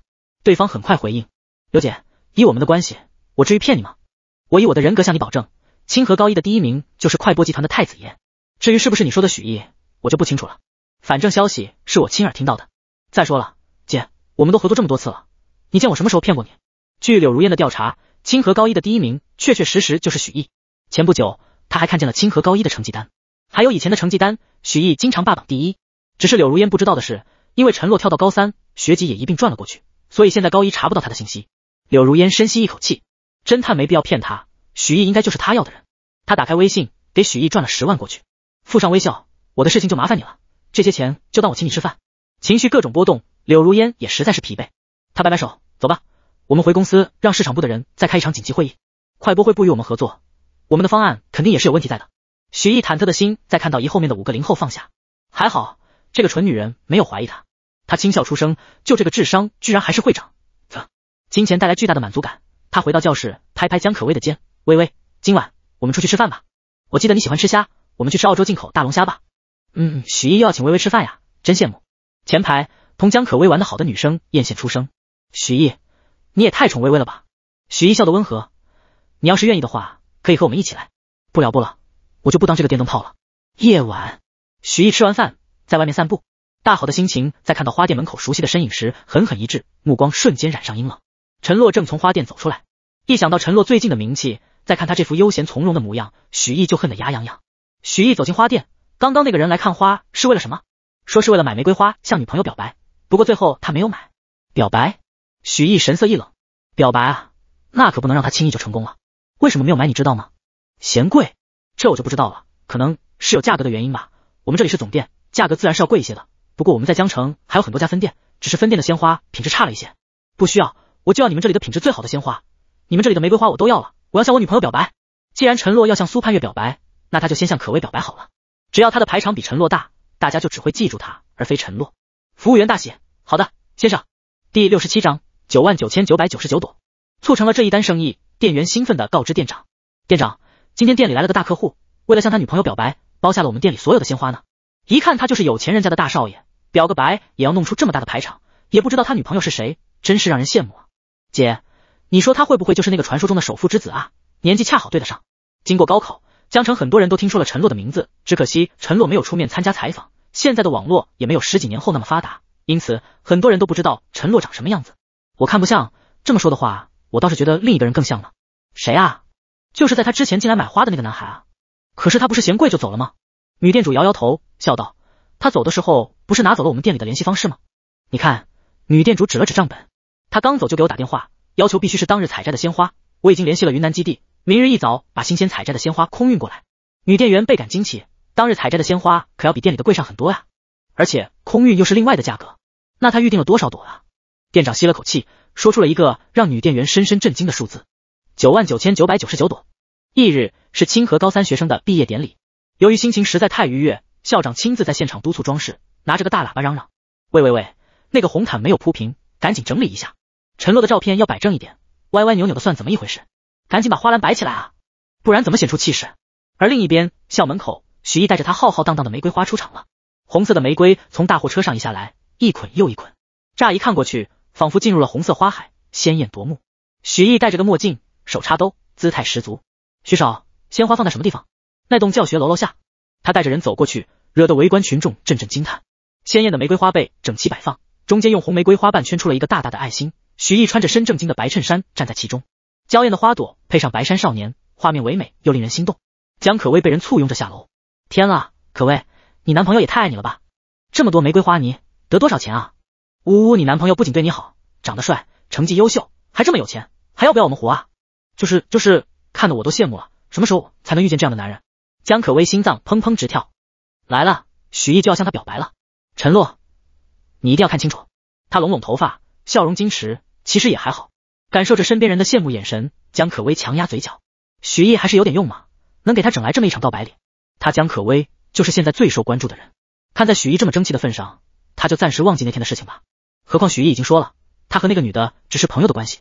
他余光往高三教学楼的方向瞟了瞟，心中暗道：陈洛，你再不抓紧，我可要名花有主了。各种准备已经到位，许毅清清嗓子，打算深情脉脉的念出自己的告白词。一道厉喝声打断他的动作，那边的人都在干什么？校长气呼呼的冲过来：“你们来学校不学习，在搞什么幺蛾子？”他瞪大眼：“有钱不买学习资料，买什么玫瑰花？你们爸妈送你们来学校是来谈恋爱的吗？谈就算了，居然还敢在他眼前谈，简直是不知好歹！”告白暂停，围着的人迅速退开。两人待的地方迅速成了真空地带。前一秒还觉得自己就是小说男女主的许毅二人面色尴尬，尤其是江可薇几乎把头埋到了胸口。看见许毅手里的玫瑰花，校长一把抢过：“你成绩考得很好吗？就敢在这里泡妞了？听说你上次做高三的三模题才考三百分，这成绩你连二本都去不了。”江可薇瑟瑟发抖，正想往后挪，校长盯住他：“你成绩还不如他呢，两个人谈什么恋爱？小心最后都去上大专。谁不知道清河二幺幺起步，对于清河的人来说，大专不亚于一种侮辱。”江可薇面色发白，摇摇欲坠。校长麻溜的让人把花通通收拾走。今天是高三学生的毕业典礼，你们也不看看你们的同龄人陈洛，人家多优秀啊，整整七百五十分呢，这可是高考满分。你们能做到吗？做人就要向优秀的人学习，不要一整天沉迷于情情爱爱的。这点情爱能长久吗？人家陈洛读书的时候就不会想着早恋，哪像你们这样一天天拎不清。又是陈洛的名字，徐毅眼神阴鸷。陈洛，陈洛，又是陈洛。这两天铺天盖地都是陈洛的名字，他都快听烦了。不就是考得好了那么一点吗？有什么难的？他肯定也可以。我们清河可没有早恋的传统，你们给我好好反省。说完，他惦记着毕业典礼的事儿，没多训斥就走开。漫天的玫瑰花海被清空，现场徒留仓促清理时掉下的花瓣，一下子从豪华场地变成了凄凄惨惨戚戚。许毅瞧见一只玫瑰花在清理途中掉落，他赶紧捡起。可薇，我对你是真心的。噗嗤，有人笑了起来，紧接着是窃窃私语声。都这个情况了。许毅还不忘表白呢，我看着都嫌尴尬。天啊，他怎么敢捡起这朵玫瑰花就开始表白的呀？这花叶子都掉了，难看死了。现在不带着江可薇走开，还留在这里，真求死个人！我要是他们两个，我都没脸见人了。瞧瞧人家的心理素质，被校长训了还不忘表白呢。江可薇听着这些声音，热血逆流，难堪到了极致。该死，幻想中的甜美场面没出现，反倒让他被人笑话成了这个鬼样子。再看许毅手里花瓣残缺的玫瑰，他一把打掉，怒道：这都什么情况了？你还表什么白啊？丢人！玫瑰花在空中成了一道抛物线，狠狠砸在地上。有人跑着路过，一脚踩在上面，直接把玫瑰花踩扁。戏剧性的发展场面让现场一下子绷不住了。许毅被落了面子，脸色也不太好看，正想牵住江可薇的手，喧闹声打断了两人的动作。啊！女生的尖叫声极具穿透力，尤其是在不止一个女生尖叫的情况下，尖叫声充满激情，一声盖过一声。啊！帅哥看我！帅哥，加个微信好不好？帅哥！众人。循着声音来源地看过去，这一看，立即想起男生倒吸凉气的声音，以及女生更加疯狂的尖叫。只见校门口突然涌现一群穿着白色西装的男人，贴身的西装包裹着他们健硕的身体，个个人高马大，目测都是一米八以上的身高，宽肩窄腰，一看就是经常健身的人。长相各有特色，多是剑眉星目、阳刚型男，还是穿衣显瘦、脱衣有肉的那种类型。这个长相极度符合女生喜好，每个人手里都捧着鲜艳的玫瑰，有冷艳的蓝色妖姬，淡雅的香槟玫瑰，馥郁的粉佳人。鲜花迷人，帅哥也迷人，两种东西组合在一起，一下子吸引住人的目光，惹得女生们骚动起来。第六十八章表白现场，这些不会也是许毅请来的吧？也太大手笔了！除了许毅还能是谁？哇，我真太羡慕江可薇了。要是谁这样向我表白，我这条命都是他的。女生们纷纷朝江可薇望去，眼中满是羡慕嫉妒。江可薇听到，更是下意识微微挺直了腰杆，虚荣心得到了极大的满足。要真是许毅做的，这排场也算配得上他了。倒是男生们存在质疑。望着琳琅满目的鲜花和俊男豪车，难免心里发酸。知道许毅出手阔绰，也没听说那么有钱啊。有人揣着困惑问许毅：“喂，许毅，这真是你安排的？”许毅先猛后喜，尤其看见江可薇看自己的目光柔和了许多，当机立断应下。本来是给可薇准备的另一个惊喜，谁知道刚才居然出了点小意外，只能先让他们过来了。他要表白的事，也只有柳如烟知道，肯定是他给安排的。想到这，许毅舒爽万分，重新走到了江可薇面前，拿着刚才那朵破花，半跪在江可薇面前。他含情脉脉抬头注视着江可薇，一只手按在心口处，跟求婚似的。可薇，我真的很喜欢你，这是我对你的一片心意。我发誓，今后一定只对你一个人好，这辈子非你不要，你就答应跟我交往吧。兴许老天给力，他侧对斜阳，暖光晒他身上，氛围十足。周围人都忍不住屏住了呼吸，看向江可薇，替他紧张了起来。江可薇看了圈前面的鲜花俊男，再看半跪在地的许毅，心里倍感得意。他唯一遗憾的是陈洛不在，不能亲眼看见这一幕。可想到陈洛这九年是如何照顾他、体贴他、宠他，江可薇又有些舍不得。围观学生们见江可薇迟迟不说话，急了：“江可薇，你还想什么啊？许毅这样的男孩子，可千万不要错过啊！”“就是就是。”江可薇，你不要的话，我可就撬墙角了。闻言，江可薇如梦初醒，不满的朝说话的女生们扫了眼，看到他们眼中的跃跃欲试，心头一紧。他可不能让许毅给跑了。至于陈洛，他想玩欲擒故纵，自己还不想奉陪了呢。思及此，江可薇抬头朝许毅手上的花慢慢伸去。见状，许毅大喜，盯着那只白嫩小手朝自己而来，高兴又得意。几朵花就能搞定女人，太容易了。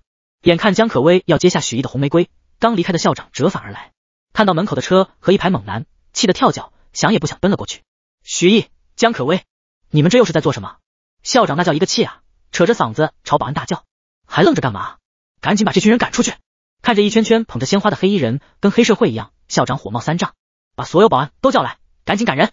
见到校长摆出这副架势，学生们纷纷倒退，生怕战火烧到自己身上。保安不敢懈怠，赶忙摇人。徐毅这下就不满了：“校长，你讲点道理，毕业典礼都结束了，我就单纯的想和心仪的女生表达下心意，这都不行。”他说完，校长差点拍他脑门。毕业典礼是高三的毕业典礼，和你有什么关系？小小年纪不好好学习，专搞这些没用的东西。校长深吸口气，扯出冷笑，走向穿着手捧玫瑰盒、穿着白色西装的男人们，准备亲自赶人。谁知他刚上前，另一批穿着西装的黑衣人从另一侧走来，拦在了他面前。对方个个身高一米九，看着十分唬人，就像黑社会似的。校长望着比自己高一个头的黑衣人，不禁有些心虚。而这一幕落在其他人的眼里，却让他们更加崇拜许毅。这些只有在电视机里才会出现的人。竟然被许毅请到了现实生活中，看来许毅真的是很有本事呢，连校长在他面前都吃了瘪。行，好的很，硬气的很，我赶不动你们，那就让警察来处理这事。说着，校长拿出手机，强忍着心里的害怕，准备报警。到这回，他已经不在乎什么早恋不早恋了，他在乎的是自己的生命安危。这些人一看就不像好人，估计一拳就能把他打进 ICU。这下轮到围观群众们担心了，他们只是想凑热闹，但警察来了，性质就不一样了。不过碍于之前许毅的表现。他们对许毅十分信任，许毅，你一定有办法解决的吧？许毅，你赶紧联系你爸，问你爸认不认识警察局的朋友，最好快一点，不然等警察来了就晚了。有柳如烟做靠山，许毅故作镇定，行啊，我现在就给我爸打电话。许毅拿过同学递过来的手机，给柳如烟打了电话。你认不认识警察局的朋友？我这边遇到了点麻烦。另一边的柳如烟冷冷道：“这种小事，徐少还需要找我帮忙？”说完就挂断了电话。许毅心里一紧，千想万想，没想到柳如烟竟然不肯帮他，这可怎么办？偏偏周围的人还都在用信任的眼神看着他，他只能强装镇定。我已经给我爸说好了，不会有事的。有的人见校长和许毅剑拔弩张，事不嫌大，拿出手机偷偷开了直播。其他人见状也想蹭波热度，纷纷打开快播。经过上次的事件，快播的知名度已经打开了，现在很多人都在用快播 APP 做直播。很快，一名小有名气的小网红直播间就涌进了大量观众。他退到后方讲述了情况，直播间立马多了许多弹幕。我支持校长，许毅做的就是不对。这是学校，是学习的圣地，不是传扬早恋的地方。一群老顽固，青春就该热烈大胆，不就表个白，有啥不行的？第六十九章，买花的人是陈洛。说实话，许毅敢这么做也挺勇的。就问你们，还有多少人敢顶着校长的愤怒，坚持和女神表白的？此评论一出，一群人表示没许毅那胆子，更没那财力，纷纷哀嚎。但随着校长电话内传出警察的声音，还是将他们拉回了现实。你好，警察同志，我是……把事情简要说完，校长就开始静静等待。而随着时间的推移，许毅越来越慌，手心已经出了一层的汗。他就恨自己没有遁地的本事，不然早就从地上挖个坑遁走了。因为只是学生间的小问题，半个小时后，一名民警赶来了解情况，身边的同学纷纷不解：“徐毅，你不是让你爸找人了吗？怎么警察还是过来了？”看到这名民警后，徐毅整个人都慌了，哭丧着脸道：“警察叔叔，这些花不是我订的，这些人也不是我找的，这一切都和我没有关系，你不要抓我。”闻言，众人都傻眼了，尤其是江可薇，一脸的不可置信：“你说什么？你说这些鲜花不是你买的？”这些人也不是你找来的，没错，我压根就不知道。徐毅已经想好了，这些人是柳如烟找来的，他本来就不知道。如果事情真的闹大了，那也要柳如烟来负责。徐毅的操作太骚了，大家一时半会都没反应过来，缓了好半晌，才缓缓出声询问。徐毅说不是他，那是谁？此时众人听到了一个熟悉的声音：校长，这群人是我找来的。本想说明情况，听到陈洛声音，校长也懵了。什么？只见陈洛从一名黑衣人身后走出，穿着简单的白色衬衫和牛仔裤，身形修长，气质清朗，英俊的脸上带着淡淡的笑意，从容的朝校长走去。他本就生得好看，体态也好，在一群黑衣人压抑的氛围中，像小说中白月光男主出场走出，一下抓住了所有人眼球。直到走到校长面前，陈洛露出歉意，指着黑衣人和豪车解释：“抱歉，没提前通知您，这些都是我安排的。”他再次说明，校长愣了，学生们愣了，连带着后方默默吃瓜的苏盼月也愣了，唯独许毅和江可薇顿时如遭雷劈。这些人竟然是陈洛找来的，那这些花也是陈洛买的。江可薇心神一颤，脑袋里瞬间闪过成百上千个念头：陈洛弄这么大排场是要干嘛？他买这么多新鲜玫瑰又是要做什么？陈洛是想用这些礼物向他服软道歉？还是想向苏盼月表白，如果是前者，他倒是能接受；但如果是后者，江可薇暗暗攥紧了拳头，指甲嵌入掌心，带来针扎一样的刺痛，他都没有察觉。如果陈洛真是要向苏盼月表白，那他可就真的成了一个小丑了。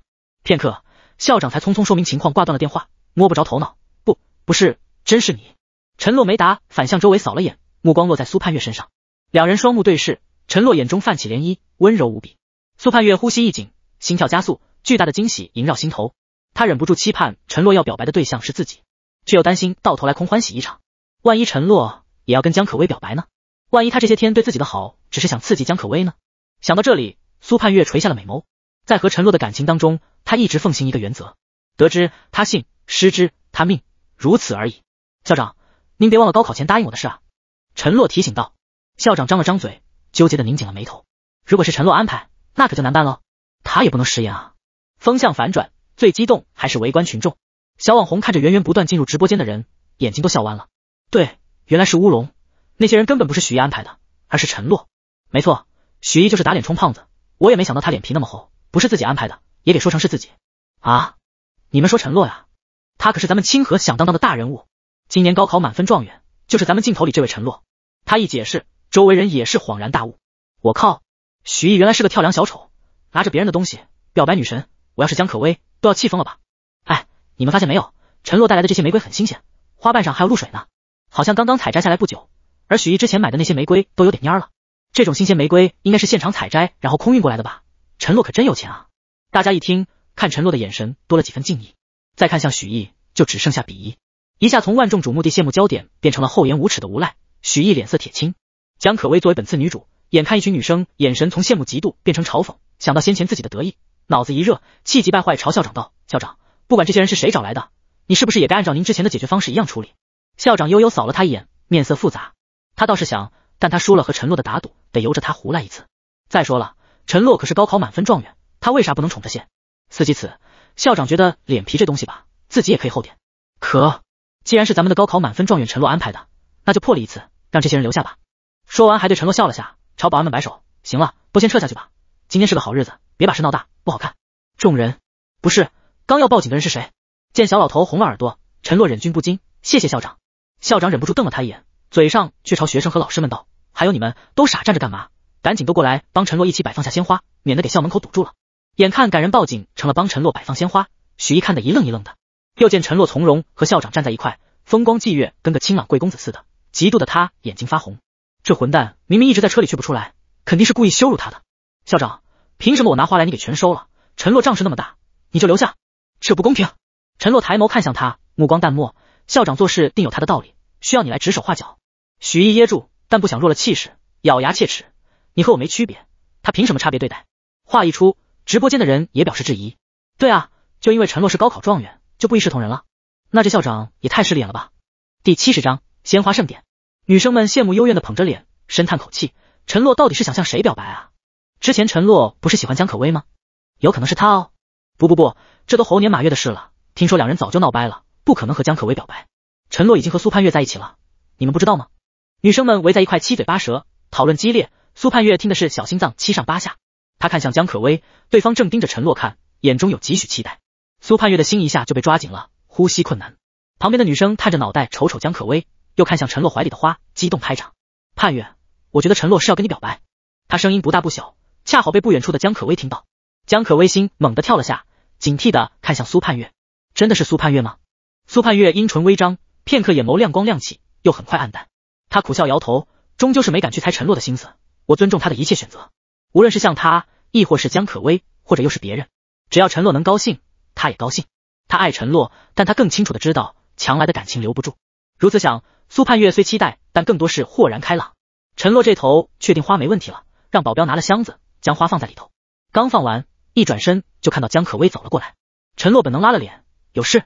江可薇脚手扭捏着试探，花很漂亮。想到苏盼月，陈洛眉眼舒展开来，明眼人都能看出他眉眼间的愉悦。为了值得的人花心思，是我的荣幸。就怕苏盼月不喜欢，那他可真就欲哭无泪了。陈洛朝人群望去，却没看到苏盼月的身影，想去找江可薇，却拦住了他，咬着下唇，目光盈盈的凝着他。陈洛，许一刚跟我表白了，关他屁事？他说会对我一心一意，这辈子非我不要。江可薇又道。陈洛眉头紧拧。不耐烦的绕开江可薇去找苏盼月，他这副模样落在江可薇眼中就是逃避。陈洛一定还喜欢自己，所以才暴躁。想到这，江可薇自信的挺了下腰。喜欢他九年，哪有说变就变的？两人之间的互动被小网红记录在直播间，可惜没听着两人对话。但看江可薇那得意模样，大家开始猜测：主播不是说陈洛曾疯狂追求江可薇吗？很有可能是向他表白。我不觉得，陈洛看江可薇的眼神没有一丁点爱意，反倒很厌恶。行了，别乱猜测了，一会不就揭晓答案了？比起这个，主播你是不是应该去问问校长为什么不一视同仁啊？主播去找校长问问，要不然我可不报考清河了呀。俺也是，俺不喜欢不公正的校长。眼看弹幕被外校一群人节奏带飞起，小网红急了，在网友们的撺掇下，小网红战战兢兢走向校长，而陈洛也站不远处，指挥带来的人布置现场。此时苏盼月也看到了陈洛，朝那头走去，他得问清楚，免得自己自作多情。校长这边正在苦恼结束后这些花怎么处理，就见一女生拿着手机朝自己憨笑，校长。我想问你，为什么差别对待许毅和陈洛？校长本不想回答，可看到镜头，想了想，还是解释道：“我和陈洛同学打了个赌，只要他能考上高考状元，就全力配合他和心仪的女生表白。现在我输了，也不能出尔反尔吧？”闻言，不远处的苏盼月顿住了脚步，巨大的狂喜充盈了整颗心。喜欢的女生，难道洛哥哥早就计划和她表白了？光想到这可能性，苏盼月激动的心弦微颤，眼眶却酸涩难耐，红了眼圈。而直播间观众听到校长的回答，再次炸锅，草率了。本以为校长势利眼。原来是因为输了赌约，我记得陈洛好像还休学过一段时间，现在看来，没准陈洛为了赢得赌约，这才发愤图强的。哇，这不就是神仙爱情吗？相比于许毅的胡作非为，陈洛可是通过学习迎来的机会，才是真情可贵吧？对不起校长，咱误会你了，等俺中考一定报清河。不到十分钟时间，清河高中整个上下都知道陈洛曾经和校长打过赌的事了。陈洛和校长的赌约也被传得神乎其神。原来陈洛回到学校就是为了和校长的赌约。原来陈洛从一开始就计划好了要夺高考状元。这到底是怎样的自信啊！江可薇站在角落里，看着那一片片娇美的玫瑰，唇瓣被咬出了几枚牙印。尤其身边的人都在议论这件事，让他心里更加不是滋味。有陈洛带来的人帮忙，很快整个清河高中都沐浴在了鲜花的海洋中。操场、教学楼、天台，目之所及的地方都摆满了鲜花。为了今天，陈洛已经准备很久了，他不想留下一丝遗憾，所以提前请了几位著名的花艺师。娇嫩的鲜花被摆成各种精美的图案，浓郁的芳香在空气中弥漫。原本还在直播间疯狂刷屏的观众。和那些喜欢八卦的学生全部都沉默了，因为眼前的场景实在太震撼了，简直是只有在梦境中才会出现的场景。九万九千九百九十九玫瑰组成一片巨大的花海，绝美又浩瀚。现在所有人都期待着女主角的出现，想看看这场绝无仅有的鲜花盛典到底是为谁准备的。苏盼月脑子里也是一团浆糊。恰在这时，夏晴急匆匆跑了过来，可算找到你了，快跟我走，有惊喜等着你。明知答案，苏盼月紧张提到了嗓子眼，手心冒汗。真的是他吗？在夏晴的带领下。苏盼月被带进了一个化妆间。半小时后，陈洛站在演讲台上，目光始终注视着右方不远处。此时的讲台已经被鲜花点缀的如同灯光汇聚的舞台一般。陈洛身边花团锦簇，偏偏他又长相清俊，气质温淡，不知吸引到了多少人的目光。台下，大家伙一个个探着脑袋，生怕错过最精彩的一幕。终于，在所有人好奇的目光下，苏盼月穿着一身镶满钻石的银色长礼服，礼服剪裁完美，勾勒出玲珑有致的身材，精致的脸庞抹上淡妆，显得人更加清纯美丽，眉目盈盈，水光流转。气质恬淡温柔，瞬间吸引了所有目光。陈洛惊艳无比，脚已经不听使唤，朝讲台下走去。讲台下，江可薇紧盯着苏盼月，眼神如 X 光线，将她上下打量。看苏盼月打扮的跟个贵族公主似的，联想到陈洛给自己送的钻石皇冠，瞬间觉得自己被比下去了。凭什么送他钻石皇冠，却送苏盼月如此璀璨夺目的钻石礼服？陈洛分明是偏心。第七十一章高调宣爱，而且陈洛用来表白的玫瑰，也要比当初对他表白时多得多。江可薇极度的攥紧了拳头，差点咬碎牙。嫉妒过后，江可薇心里升起一股浓浓的失落。原来陈洛想要表白的人真的是苏盼月啊！想起自己在清河高中发的那个帖子，江可薇只觉得脸上火辣辣的疼。他还大言不惭的说，陈洛之所以一直不肯向苏盼月表白，是因为他不喜欢苏盼月，和苏盼月在一起也只是为了刺激他。可现在看来，陈洛刚回到清河就和校长打了赌，分明是想在所有人的见证下向苏盼月告白。此时，清河高中所有人都知道陈洛表白苏盼月的事了，所有人明白了陈洛为何大张旗鼓。只因想给苏盼月最盛大的告白仪式。于是乎，羡慕对象彻底转移到苏盼月身上。然而这些目光影响不到陈洛一点，他眼里只有苏盼月。反应过来自己太急了，陈洛及时停住，停在了讲台边，注视着心爱的女生一点点靠近。分明只有十几米的红毯道路，两人却因为紧张走出了十万八千里之远的感觉，慢到吃瓜群众都急了。要不是怕破坏浪漫气氛，大家都得扯嗓子催促。但他们不是当事人，不知道陈洛此时有多紧张期待。时隔一世，苏盼月始终没变，他依旧满心满眼都是自己。而他这次也终于能抓住自己的幸福，这是老天给他的机会。他怕慢个一秒，梦境就会破碎。直到苏盼月站在他面前，红着脸将手落在了他的掌心，陈洛迫不及待握紧。这一刻，陈洛才有了重活一世的真实感。望着少女羞红的脸颊，陈洛轻轻一笑，拉她走上台阶，小心点。嗯，苏盼月这会哪还有其他想法？到现在人还晕乎乎的呢。两个人均是换了行头，精致打扮，就那么几米的红毯，走出了结婚的架势。站在讲台上的校长。则成了温柔慈祥的司仪，但没人觉得这场景突兀，有人更是看得羡慕嫉妒恨，咬着衣服愤愤然道：“我能抢新娘吗？”话一出，周围人喷笑出声：“哪来的新娘？”男生缓过神，窘迫无比：“不好意思，氛围感太强，我以为参加婚礼。”众人哈哈大笑，也笑醒了陈洛。陈洛故作镇定，将苏盼月带到中央，中央被鲜花簇拥，简单的演讲台变成了高级的欧式风格鲜花场景，配合上两人的打扮，真跟结婚没有什么区别。陈洛走到角落。将里面的花动作轻柔的拿了出来，眼神温柔，步伐坚定的朝苏盼月走去。苏盼月垂落的手抓紧裙摆，目光炯炯的注视着陈洛，直到陈洛将花捧到他面前，看清花的品种，苏盼月瞬间红了眼圈。洛哥哥，这花你是从哪里买来的？这花叫落月花，只在月色下短暂开花，摘下只能存活十二小时，且非常娇弱，稍不小心就凋零。他也就和陈洛去外公家过暑假时，有幸看到过一次开花，从此变成了他最爱的品种。可这花实在太金贵了，还是应季花，不易种植，不易保存。价格再高都难求一朵，如今面前却是一整束，有的甚至含苞待放。也就是说，今晚他能借着月色看花，再次绽放。见苏盼月感动，陈洛回道：“托朋友找到的，好在保存下来了。你喜欢吗？”苏盼月连连点头，伸手去接，陈洛却后退半步：“小月，我今天站在这做这些，只是因为我喜欢你，不掺杂其他想法，仅仅是因为我喜欢你。你愿意做我女朋友吗？”陈洛深情款款告白，没人知道他此刻心跳的有多快。听着陈洛的话，苏盼月终是忍不住啜泣着点头。我愿意的，我愿意的。就算知晓答案，陈洛也重重松了口气，忙不迭的将鲜花递上，笑得轻松。那说好了呀，你现在是我女朋友了。苏盼月捧着鲜花，又哭又笑的，瞥见台下一群惊羡的眼神，羞得脸色涨红，赶忙把俏脸偏到一边。校长见状，欣慰的走上台。今天是个好日子，作为校长，我很高兴清河高中能有陈洛和苏盼月这样优秀的学子，决定自掏腰包给大家也送点毕业礼物。话音刚落，老师们搬上来一个巨型蛋糕。蛋糕摆放到陈洛和苏盼月中间，更像是两人的结婚蛋糕，看得苏盼月又羞又窘。知晓校长好意，陈洛倒大方，拉着苏盼月的手，还真就切起了蛋糕。底下全是打趣的嘘声。我八辈子的狗粮今天都吃饱了，真一口都吃不下了。不知谁吼了声，全场爆笑。很快蛋糕就被分发下去，氛围和谐。唯独江可薇站在人群中，气得指甲都掐破了掌心。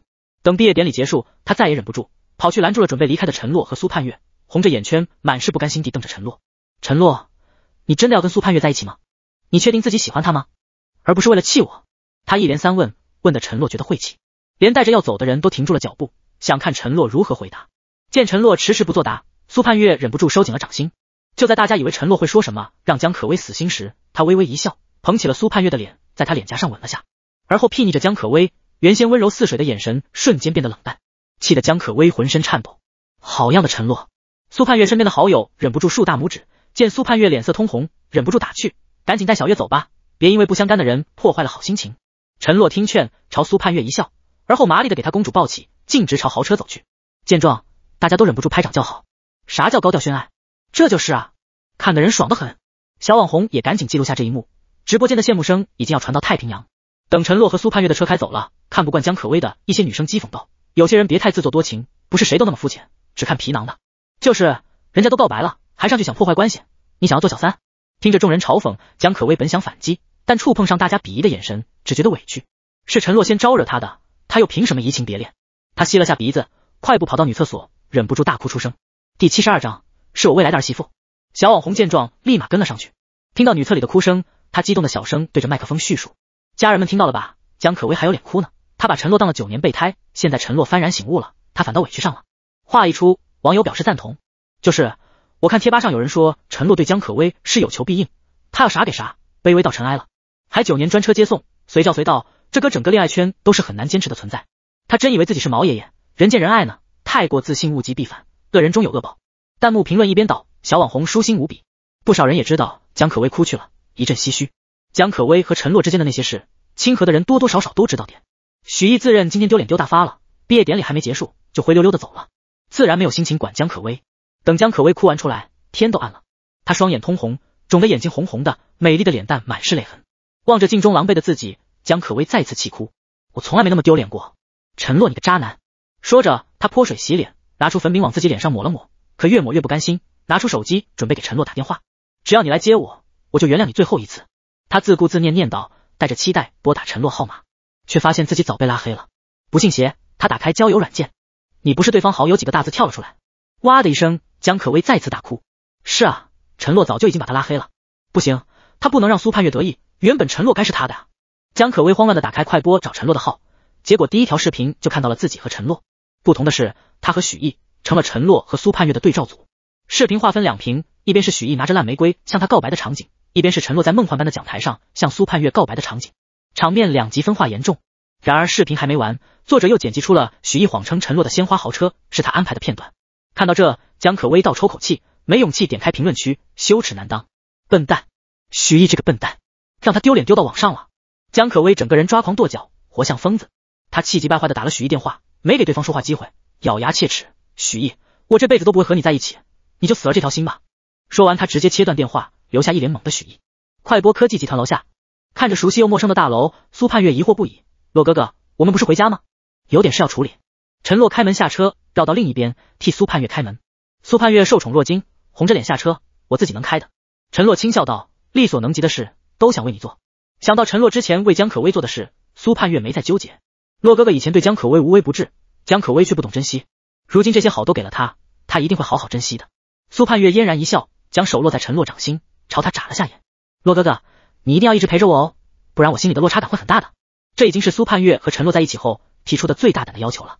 他从来没要求陈洛为他做什么，只有这次，他是真心希望陈洛永远不要离开。有些东西一旦得到了，就再也无法接受失去的结果。陈洛失笑点头。江可薇不喜欢他，他九年都坚持下来了。面前的人儿是他心爱的，也是爱他的，他宠都来不及。跟我走，有个惊喜要给你。嗯，苏盼月期待满满的用力点头。两人牵着手朝公司大门走去，刚踏进大厅就被保安拦了下来。不好意思，请出示你们的通行证。我叫陈洛。陈洛下意识回答，保安却不买账，没听过，有预约没？没有的话，不能放你们进去。快播集团是大公司，进出都需要通行证或是预约证明，要不然进不去本部大楼。陈洛虽是快播太子，奈何从未公开露面，认识他的少之甚少。又看陈洛和苏盼月打扮的格外精致。保安皱眉道：“如果要当主播，就跟应聘流程来，擅闯公司对你们没好处。”陈洛和苏盼月对视一眼，眼中都带着笑意。陈洛眼里燃起兴味，故意道：“如果我非要进去呢？”保安拿去传呼机，当即要叫人，那我们只能强制赶人了，请配合我们的工作。两人看起来人模狗样的，怎么那么没礼貌呢？见保安态度强硬，陈洛也不逗他了，给洛夫打了电话。没一会儿，陈炳生赶了过来，看到陈洛和苏盼月站在一块，露出欣慰的笑，让他们进来。保安一惊，赶忙放人。带着苏盼月走到陈炳生面前，陈炳生望着两人牵着的手，爽朗大笑。这笑声让苏盼月瞬间羞红了脸。叔叔，叔叔好。陈炳生的笑声引来了周围人注意，打量着陈洛和苏盼月，心细胆大的经理试探出声：“陈总，这不会是少爷吧？”陈炳生点头，对，他就是我儿子陈洛，也是集团今后未来的接班人。旁边那位是我未来的儿媳妇。苏盼月的脸更红了，不着痕迹的贴紧了陈洛，一副小鸟依人的可爱模样。而陈炳生的这两句话。也让在场的集团员工大为吃惊。第七十三章，我愿与你一生一世，至死不渝。陈洛由衷道：“爸，谢谢你。”一家人说什么谢？去吧，带着小月在公司里好好转转，提前熟悉一下环境。大家伙悄咪咪打量陈洛和苏盼月，唯独保安惊恐不安，见陈洛要上电梯了，忙跑过去，冷汗直流。对不起，少爷，是我有眼无珠，我跟你道歉，你可别生气。这工作不能丢啊，一家老小还指望他呢。可他得罪了这种娇生惯养的大少爷，工作怕事。哎就在保安觉得自己要提前下岗的时候，陈洛上前拍了拍他的肩膀：“你很尽责，我不会怪你，还会给你升职加薪。”保安诧异几秒，反应过来，连连道谢。歪打正着，泼天的富贵要朝他而来了。陈少还怪好的嘞。小乌龙结束，陈炳生去忙，陈洛则叫来了策划经理，都安排好了。策划经理笑着点头：“您放心，妥妥的。”苏盼月云里雾里：“洛哥哥，你们在说什么？”陈洛握了下他细软的手，神秘一笑：“等下就知道了。”苏盼月撇了撇嘴，嘀咕道：“到底是什么嘛？”陈洛听到凑上前询问，说我坏话呢。他离得太近，鼻息的热气都要落在苏盼月鼻尖，羞得苏盼月拉开了点距离，不自然道：“哪有？电梯来了，咱们上去吧。”说完拉着陈洛往电梯走，陈洛淡笑着跟上，三人直达最顶层。在电梯开启的前两秒，策划经理按了下手机一个键，电梯门打开，入目是一片旷阔的天台。陈洛拉起苏盼月的手，两人走到天台边缘。这里是快播集团最顶层，也是整个江城的最高点。站在这里，仿佛世界都在脚下，江城繁华一览无余。起初苏盼月还以为陈洛带他来这里是为了看风景，毕竟这里的风景真的很好看。直到他注意到不远处的一栋大楼，楼的顶部放着一块大屏幕，而屏幕上放着陈洛同他表白的浪漫画面。不仅仅是一栋大楼，几乎快播集团脚下的所有建筑顶楼上都立起了这样的一块屏幕，无数的小屏幕错落在一块，组成了一个巨大的心形。稍有点商业常识的人都知道，商业大楼顶部的大屏是用来投放商业广告的，每一分钟的投放都需要不少的金钱。陈洛这是包下了江城整个商圈的大屏幕向他告白。苏盼月鼻腔一酸，眼睛热了，又怕哭了被人笑，露出了一个想哭就不肯哭的呆萌模样。洛哥哥，谢谢你，今后全世界的人都知道我向你表白了，也知道你是我女朋友了。小月。你不会因为我太高调而嫌弃我吧？怎么可能嫌弃？他恨不得宣誓主权，让所有人都知道洛哥哥也是他的了。这时候，两人中二病一致犯了。苏盼月感动的跳到了陈洛怀里，毛茸茸的脑袋在他胸口蹭了蹭，像个温顺撒娇的小猫。才不会嫌弃，惊喜感动还来不及。这就是被洛哥哥宠着的感觉吗？也太幸福了。苏盼月沾沾自喜，在陈洛怀里偷乐。陈洛轻轻抱着他，说出了前世没有来得及说出口的承诺：小月，我希望和你一生一世，至死不渝。他的嗓音很轻，却无比的坚定。苏盼月心里像是被一股热流冲过，感觉自己整个人都躺在了温暖的洋流中，幸福的不能自已。至死不渝这四个字多么动听啊！场面温馨，策划经理默默退下，却不小心看到了陈炳生躲在角落，拿着手机偷拍。策划经理汗颜：“陈总，您，嘘，别出声。”说完，在策划经理无奈的笑容下，陈炳生对着抱在一块的小情侣哐哐一顿拍照，也不挑选，一股脑全发给了江雅。江雅这会正在跟贵妇团搓麻将。看到陈炳生发来的照片，喜得直接来个炸糊。儿子不傻了，江太太，你牌打错了。有贵妇提醒，江雅那还有打牌心思啊，直接给每人赚了一万块，笑容满面。不好意思各位，今天大家先回去吧，咱们有空再约。啥事那么高兴呢？江雅美滋滋看了看照片，还放大细节，见陈洛和苏盼月真在贴贴，笑容都快裂到耳根。看几名贵妇好奇模样，她清了清嗓子道：“没什么大事，就是我快当婆婆了。”贵妇们却觉得他疯了，他儿子才刚高中毕业，这就要带女人回家了。说出去不让人看笑话吗？虽说豪门圈公子小姐玩得开，但才高中毕业就带女朋友回家的还真没几个。何况陈洛以往风评可不咋地，平日就嫉妒江雅快播集团夫人身份的贵妇们，仿佛找到了一个发泄点，边走边小声嘲讽：“哼，也不怕是红颜祸水给陈家整垮了。”话一不小心被管家听到，管家顿时黑了脸。咱家少爷是高考满分状元，他的女朋友也出身世家，门当户对，天造地设。几位夫人还是好好管管教自家孩子吧，别没事乱嚼口舌。先生太太向来疼少爷。听到你们这些话，怕是会影响你们家先生和陈家的商业合作。几位贵妇家里都仰仗着陈家发家致富，何况陈洛是今年高考满分状元。想到自家孩子惨不忍睹的成绩，立马晋升，夹着尾巴走了。管家见状哼了声，拿起手机继续看视频。以后能光明正大磕 CP 喽。另一边，柳如烟也看到了热搜上的许毅，立马叫来了小助理，手机往桌上一扔。许毅不是快播太子吗？怎么自家平台全是黑他的视频？这是小助理也刚刷到，没了平时的底气。柳经理，这我也不清楚。柳如烟眼皮一跳，有种不好的预感。这不清楚，那不清楚，我要你有什么用？小助理低着头嘀咕着，那我也没见过快播太子，哪知道许毅到底是不是？原本他觉得是，可许毅丢脸丢到上热搜了，官方非但不撤热搜，还给了波大流量，他心里也忐忑不安，就怕许毅真不是快播太子。柳如烟也意识到事情很不对劲，猛地站起，立马去快播科技集团，一路催促司机飙车。柳如烟赶到快播科技，保安认识他，边核对通行证，边继续跟一旁同事说刚才的事。真的，刚都快吓死我了，我还以为少爷跟那群嚣张跋扈的有钱少爷一样不讲道理呢。嘿，没想到他那么明事理，非但不怪我鲁莽，还夸我尽责给我升职加薪呢。以后肯定是个好老板啊，咱们有福了。听到这话，柳如烟脚步一顿，径直朝保安走去。你刚说的少爷是你们快播的太子爷吗？对啊，就是咱们家太子爷。保安骄傲道，不忘补充，老板说了，少爷就是今后公司接班人。柳如烟心惊，那他还在这吗？在呀，在顶层呢。柳如烟闻言，眼睛一亮。我要见他，你带我上去。保安狐疑，你不是来办公的吗？而且顶层非董事会人不可去，柳经理还是算了。不行，我今天必须见到他。他倒要看看许毅究竟是不是快播太子。想着他不顾保安阻拦，一路朝电梯跑去。保安脸色大变，一路追赶，鞋底子都快磨破了，愣是没追上踩着恨天高的柳如烟。第七十四章许毅被拆穿。顶楼落地窗前，陈洛即使一身休闲装也掩不住周身贵气，旁边的女孩也是背影婀娜，两人只是静静站在那里，就是一幅绝美的图画。哒哒哒，急促的脚步声打断了顶楼的平静。柳如烟停在办公室门口，撑着门框喘气。本想看看这位神秘的快播太子爷究竟是谁，到底是不是许毅，却没想到看到了一个让他意想不到的人——陈洛。怎么会是陈洛？一双美眸在看到陈洛的那一瞬间猛地瞪大，裹着浓浓的不可置信。怎么是你？风源，你给我站住！回答他的是保安在走廊另一头的怒吼。柳会长。陈洛转身看向柳如烟，眼神中闪过一丝讶异。你来这里有什么事？柳如烟没有回答。此时此刻，他的大脑已经凝固了。陈洛怎么会在这里？电光火石之间，柳如烟想到结果：快播集团是你家的。见他表情又怒又气的，陈洛疑惑：是又怎么了？他承认了。柳如烟神情有那么一瞬间的皲裂。如果到现在还搞不明白怎么回事，那他就是个傻逼。想他柳如烟名牌大学毕业，一路顺风顺水，现在被一个毛头小子骗了。许毅假借快播少爷的身份，从他这里骗钱骗物。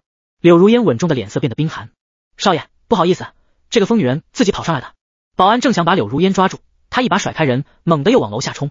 保安苏盼月和陈洛对视一眼，也是一头雾水。清河高中，处在晚自习的高中教学楼安静无比。除了沙沙的翻纸声外，再无别的声响。高一三班，许一正对着一道数学题绞尽脑汁，雪白的草稿纸上写满运算过程，却半天没算出正确答案，惹得他烦躁不已。一道道惊呼声打断他的思绪，顺着人群的目光看过去，只见教室门口站着一位气势十足的漂亮女人，白衬衫包臀裙下是傲然的身材，五官立体，尤其是一双眼尾稍微向下的眼眸，平添几分冷艳气息。她似乎有些气愤，冷冰冰的盯了过来，锻炼出来的气势压人十足。高中不缺漂亮女生。可大多青涩甜美，同玉姐的她比起来差了一大截。柳如烟的出现引起了不少男生的骚动。柳如烟语气森冷，许毅，惊呼声更大了，一个个神情狂热的看向了许毅。许哥，你和他是什么关系？柳如烟突然来这里做什么？许毅心中狐疑，他表面镇静，她是我姐姐。哇，许毅，你姐姐居然这么好看，比电影里的明星还要有气势。我当初去现场追星，那些明星都不见得有你姐姐好看，这身材简直了。我我怎么没有这么好看的姐姐？我姐只会打我，让我跑腿。各种各样的奉承声让许毅心情大好，他微微笑着。我姐和我关系很好的。柳如烟走了进来，高跟鞋碰撞地面，发出清脆的响动。柳话才开口，啪的一声动静在教室里响起。柳如烟这一巴掌用了十足的力气，肉眼可见的，许毅右脸高高肿起。刚才还一脸惊艳和羡慕的同学停止声音，一个个惊诧的看着这幕。这好像不是姐姐吧？许毅也被打懵了，怒从心起，你神经病啊！你信不信我把今天的事告诉我爸？你爸？柳如烟嗤笑出声。你爸是谁啊？你不会还要告诉我，你爸是快播集团董事长吧？围观人群听出不对劲。许毅不是说这人是他姐姐吧？怎么不像啊？我看不像是姐姐，倒像是仇人。你这个混账！家教良好的柳如烟被气狠了，直接骂出声。你怎么敢从我手里骗走那么多钱呢？他看向四周，掷地有声。同学们，你们班的许毅就是一个骗子。你们有没有发现他最近出手很阔绰？因为他骗我。说他是快播集团董事长的儿子，从我这里要钱要物，还把我蒙在鼓里。他今天会骗我，明天就可能骗你们中的任何一个人。你们和他交往，可要做好准备。柳如烟的声音在狭小的教室响起，就像撕开了一道口子，瞬间让空气变得嘈杂起来。连原先不打算吃瓜的人都听震惊了。冒充快播老总的儿子许毅哪来的脸？有老师走了过来，这位女士，你来我们教室做什么？柳如烟冷冷的瞥了许毅一眼，转身离开。法治社会，他不可能对许毅怎么样，但他们高中生不是在乎面子吗？那他就让许毅面子里子都没有好了，先前的艳羡变成讥讽。许毅，他说的是真的还是假的？啧啧啧，难怪啊，原来是从女人手里搞来的钱。你的操作也太骚了，教教我呗。许毅听着周边的嘲讽，面色发青，忍住眼中难堪，嘴硬。他说什么就是什么吗？你们怎么那么蠢？那你解释一下，你最近的高消费哪里来的呀？我就说家里有钱也不是你这种花法，人家陈洛就很低调啊，果然有问题，没钱还装大款，你真恶心。一旁的江可薇见了也是一脸厌烦与嫌弃，尤其是想到许毅这些天给他花的钱，竟然是从另一个女人身上骗来的，就更让他发自心里的反胃。江可薇做梦都没想到，有一天他也会遭遇和宋清宇一样的事情。许毅和情绪一样，都是假装的富二代，还是老师管理纪律，才勉强让教室安静下来。许毅一下成了名人，各种打量讥笑，让他只觉周身火辣辣的，要在他身上啄出一个洞来似的，叫他无处遁形。他强装镇定的坐下刷题，淡黄色的卷子印着几何题。原先的思路被彻底打乱，再想不出一点。下课途中，许毅实在不想听到其他人的奚落嘲讽，慌忙躲去厕所，等上课铃响才慢慢走回来。四周的人好像都在刷题，并没有人过多注意他。他松了口气，拉开椅子坐下。一瞬间，他感受到了不对劲，臀部黏黏腻腻。他动了动，竟发现屁股已经粘在了椅子上。现在他的裤子已经紧紧和椅子紧紧粘在了一起。许毅大脑一片空白，有人在他椅子上涂了胶水。第七十五章，江可薇愿意服软了。哈哈哈哈！周围响起爆笑声。老唐，还是你的点子好，笑死我了。许毅，五百零二胶水的感觉怎么样？许毅神色难堪，撑着桌子挣扎起身。你们怎么可以这么过分？你骗人的时候怎么不想想你过不过分？你不是说你家可有钱了吗？吹牛也不打草稿，真是笑死人了。扯了半天，越粘越紧。他拿出湿巾擦拭，毫无效果。周围全是笑话他的人，有谁可以帮一下他？他把眼神放在了江可薇身上，他总该是会帮他的吧？可薇话一开口，江可薇迅速别过头去。对于许毅如今的惨状，他一点也同情不起来。一想到他拿着从别的女人那里骗来的钱给他买首饰、买手机，他就只觉得恶心。是个废物，没钱学陈洛，装什么大款？这副拒绝的神态一下子让许毅心凉如谷底。就连可薇都冷落他了吗？可他做这么多，不都是为了他？周围嬉笑声音更大，他再也忍不住，一手捂着脸，另一手扶着屁股上的椅子，狼狈的跑了出去。许毅装出来的阔气被拆穿，成了过街老鼠，走到哪里都是嘲笑。他整个人也越发阴沉，好几次和人发生冲突。江可薇自然不可能再和他发生牵扯，只是看着他狼狈的模样，难免让他想起来陈洛，高考状元，家境殷实，对他大方，各种优点充斥在他脑海，和现在的许毅简直是天壤之别。江可薇忘不掉，满脑子全是他，有时候听着课，他都能望着陈洛之前的座位出神。高考结束后的他正在做什么呢？会不会像他想念他一样，心里有一点他？想想这天来的纠结，江可薇忽然不想再倔强下去了。他早就想要找回了陈洛了，只是一直放不下自己的傲气。可是经过了这么多，陈洛也马上就要和苏盼月一起去读最高的大学了。江可薇是真切的明白，如果他再不服软，陈洛就真的成了别人的了。那么这次就让他低一次头吧。假期一到，江可薇难掩心中思念，找到了陈洛。陈洛，这些天我想了想，之前的事都是我做错了，你能不能原谅我？这是江可薇第一次对陈洛道歉，也是一向高傲的他第一次服软。在他看来，陈洛一定会答应的。他可是从来没对谁这么卑微过啊！他眼睛长得好看，瞳仁很大。黑白分明，看人时总让人觉得无辜单纯。曾经陈洛很是沉迷他的模样，只是现在见到对方楚楚可怜的动作，他表情平平淡淡。陈洛，你能不能不要不理我？江可薇几乎是哭着开口。我已经深刻认识到自己错误了，我现在向你道歉，你原谅我好不好？半晌，帮我做一件事，我就原谅你。好。江可薇眼睛立即就亮了，像是悬溺在水中的人，终于找到了救命稻草。做什么？只要是你让我做的，什么都可以。他神色激动的望着陈洛。心下雀跃，果然，他服软一下，对方就立即原谅了他。他在陈洛心里果然是有地位的，苏盼月而已，压根比不上他在陈洛心里的地位。等我一下，陈洛转身回到别墅，抱出来一叠纸张，还有礼品盒，递给江可薇，把这些东西全部烧掉，我就原谅你。江可薇瞥了一下，欣喜的神色被水泼了一般，消失殆尽。他颤抖着开口：“你要我烧掉这些？”哪怕过了许久，他仍旧记得这些东西都是陈洛之前打算送给他的情书礼物。当时他不屑一顾，全部扔回陈洛桌上，甚至还笑话他：“我江可薇这辈子都不可能喜欢你的，陈洛，你就别癞蛤蟆想吃天鹅肉。”没想到他居然还保留着，烧了这些是想和他断个干净吗？所以陈洛口中的原谅其实是忘记吗？他要他亲手斩断和他的一切，要他彻底在他的世界消失，那这原谅还有什么意义？江可薇摇摇欲坠，陈洛，你怎么可以这么对待我？我已经知道错了。陈洛冷漠开口：“江可薇，烧掉他们。”以后我们桥归桥，路归路，就只是陌生人。他的话都是真心的。这辈子的江可薇还没对他做出实质性的伤害，他也不会为难一个女人。烧掉就当陌生人。泪水汹涌，江可薇推掉情书和礼盒，不可能的，我不可能这么做的。你休想，他才不要和陈洛断绝所有关系。眼泪模糊视线，他生怕陈洛逼着他烧掉，哭着跑开。一直到十字路口，江可薇才停下喘气。嘟嘟，手机震动起来，是陈洛放不下他，给他发消息了吗？他眼中又燃起期待。亲爱的市民朋友们，只是垃圾广告，消息栏空空荡荡。江可薇心里一凉，彻底崩溃出声。被陈洛拒绝，江可薇开始消沉起来。暑假，他把自己关在房间，除去吃饭洗澡，基本全天待在里面，没有任何社交。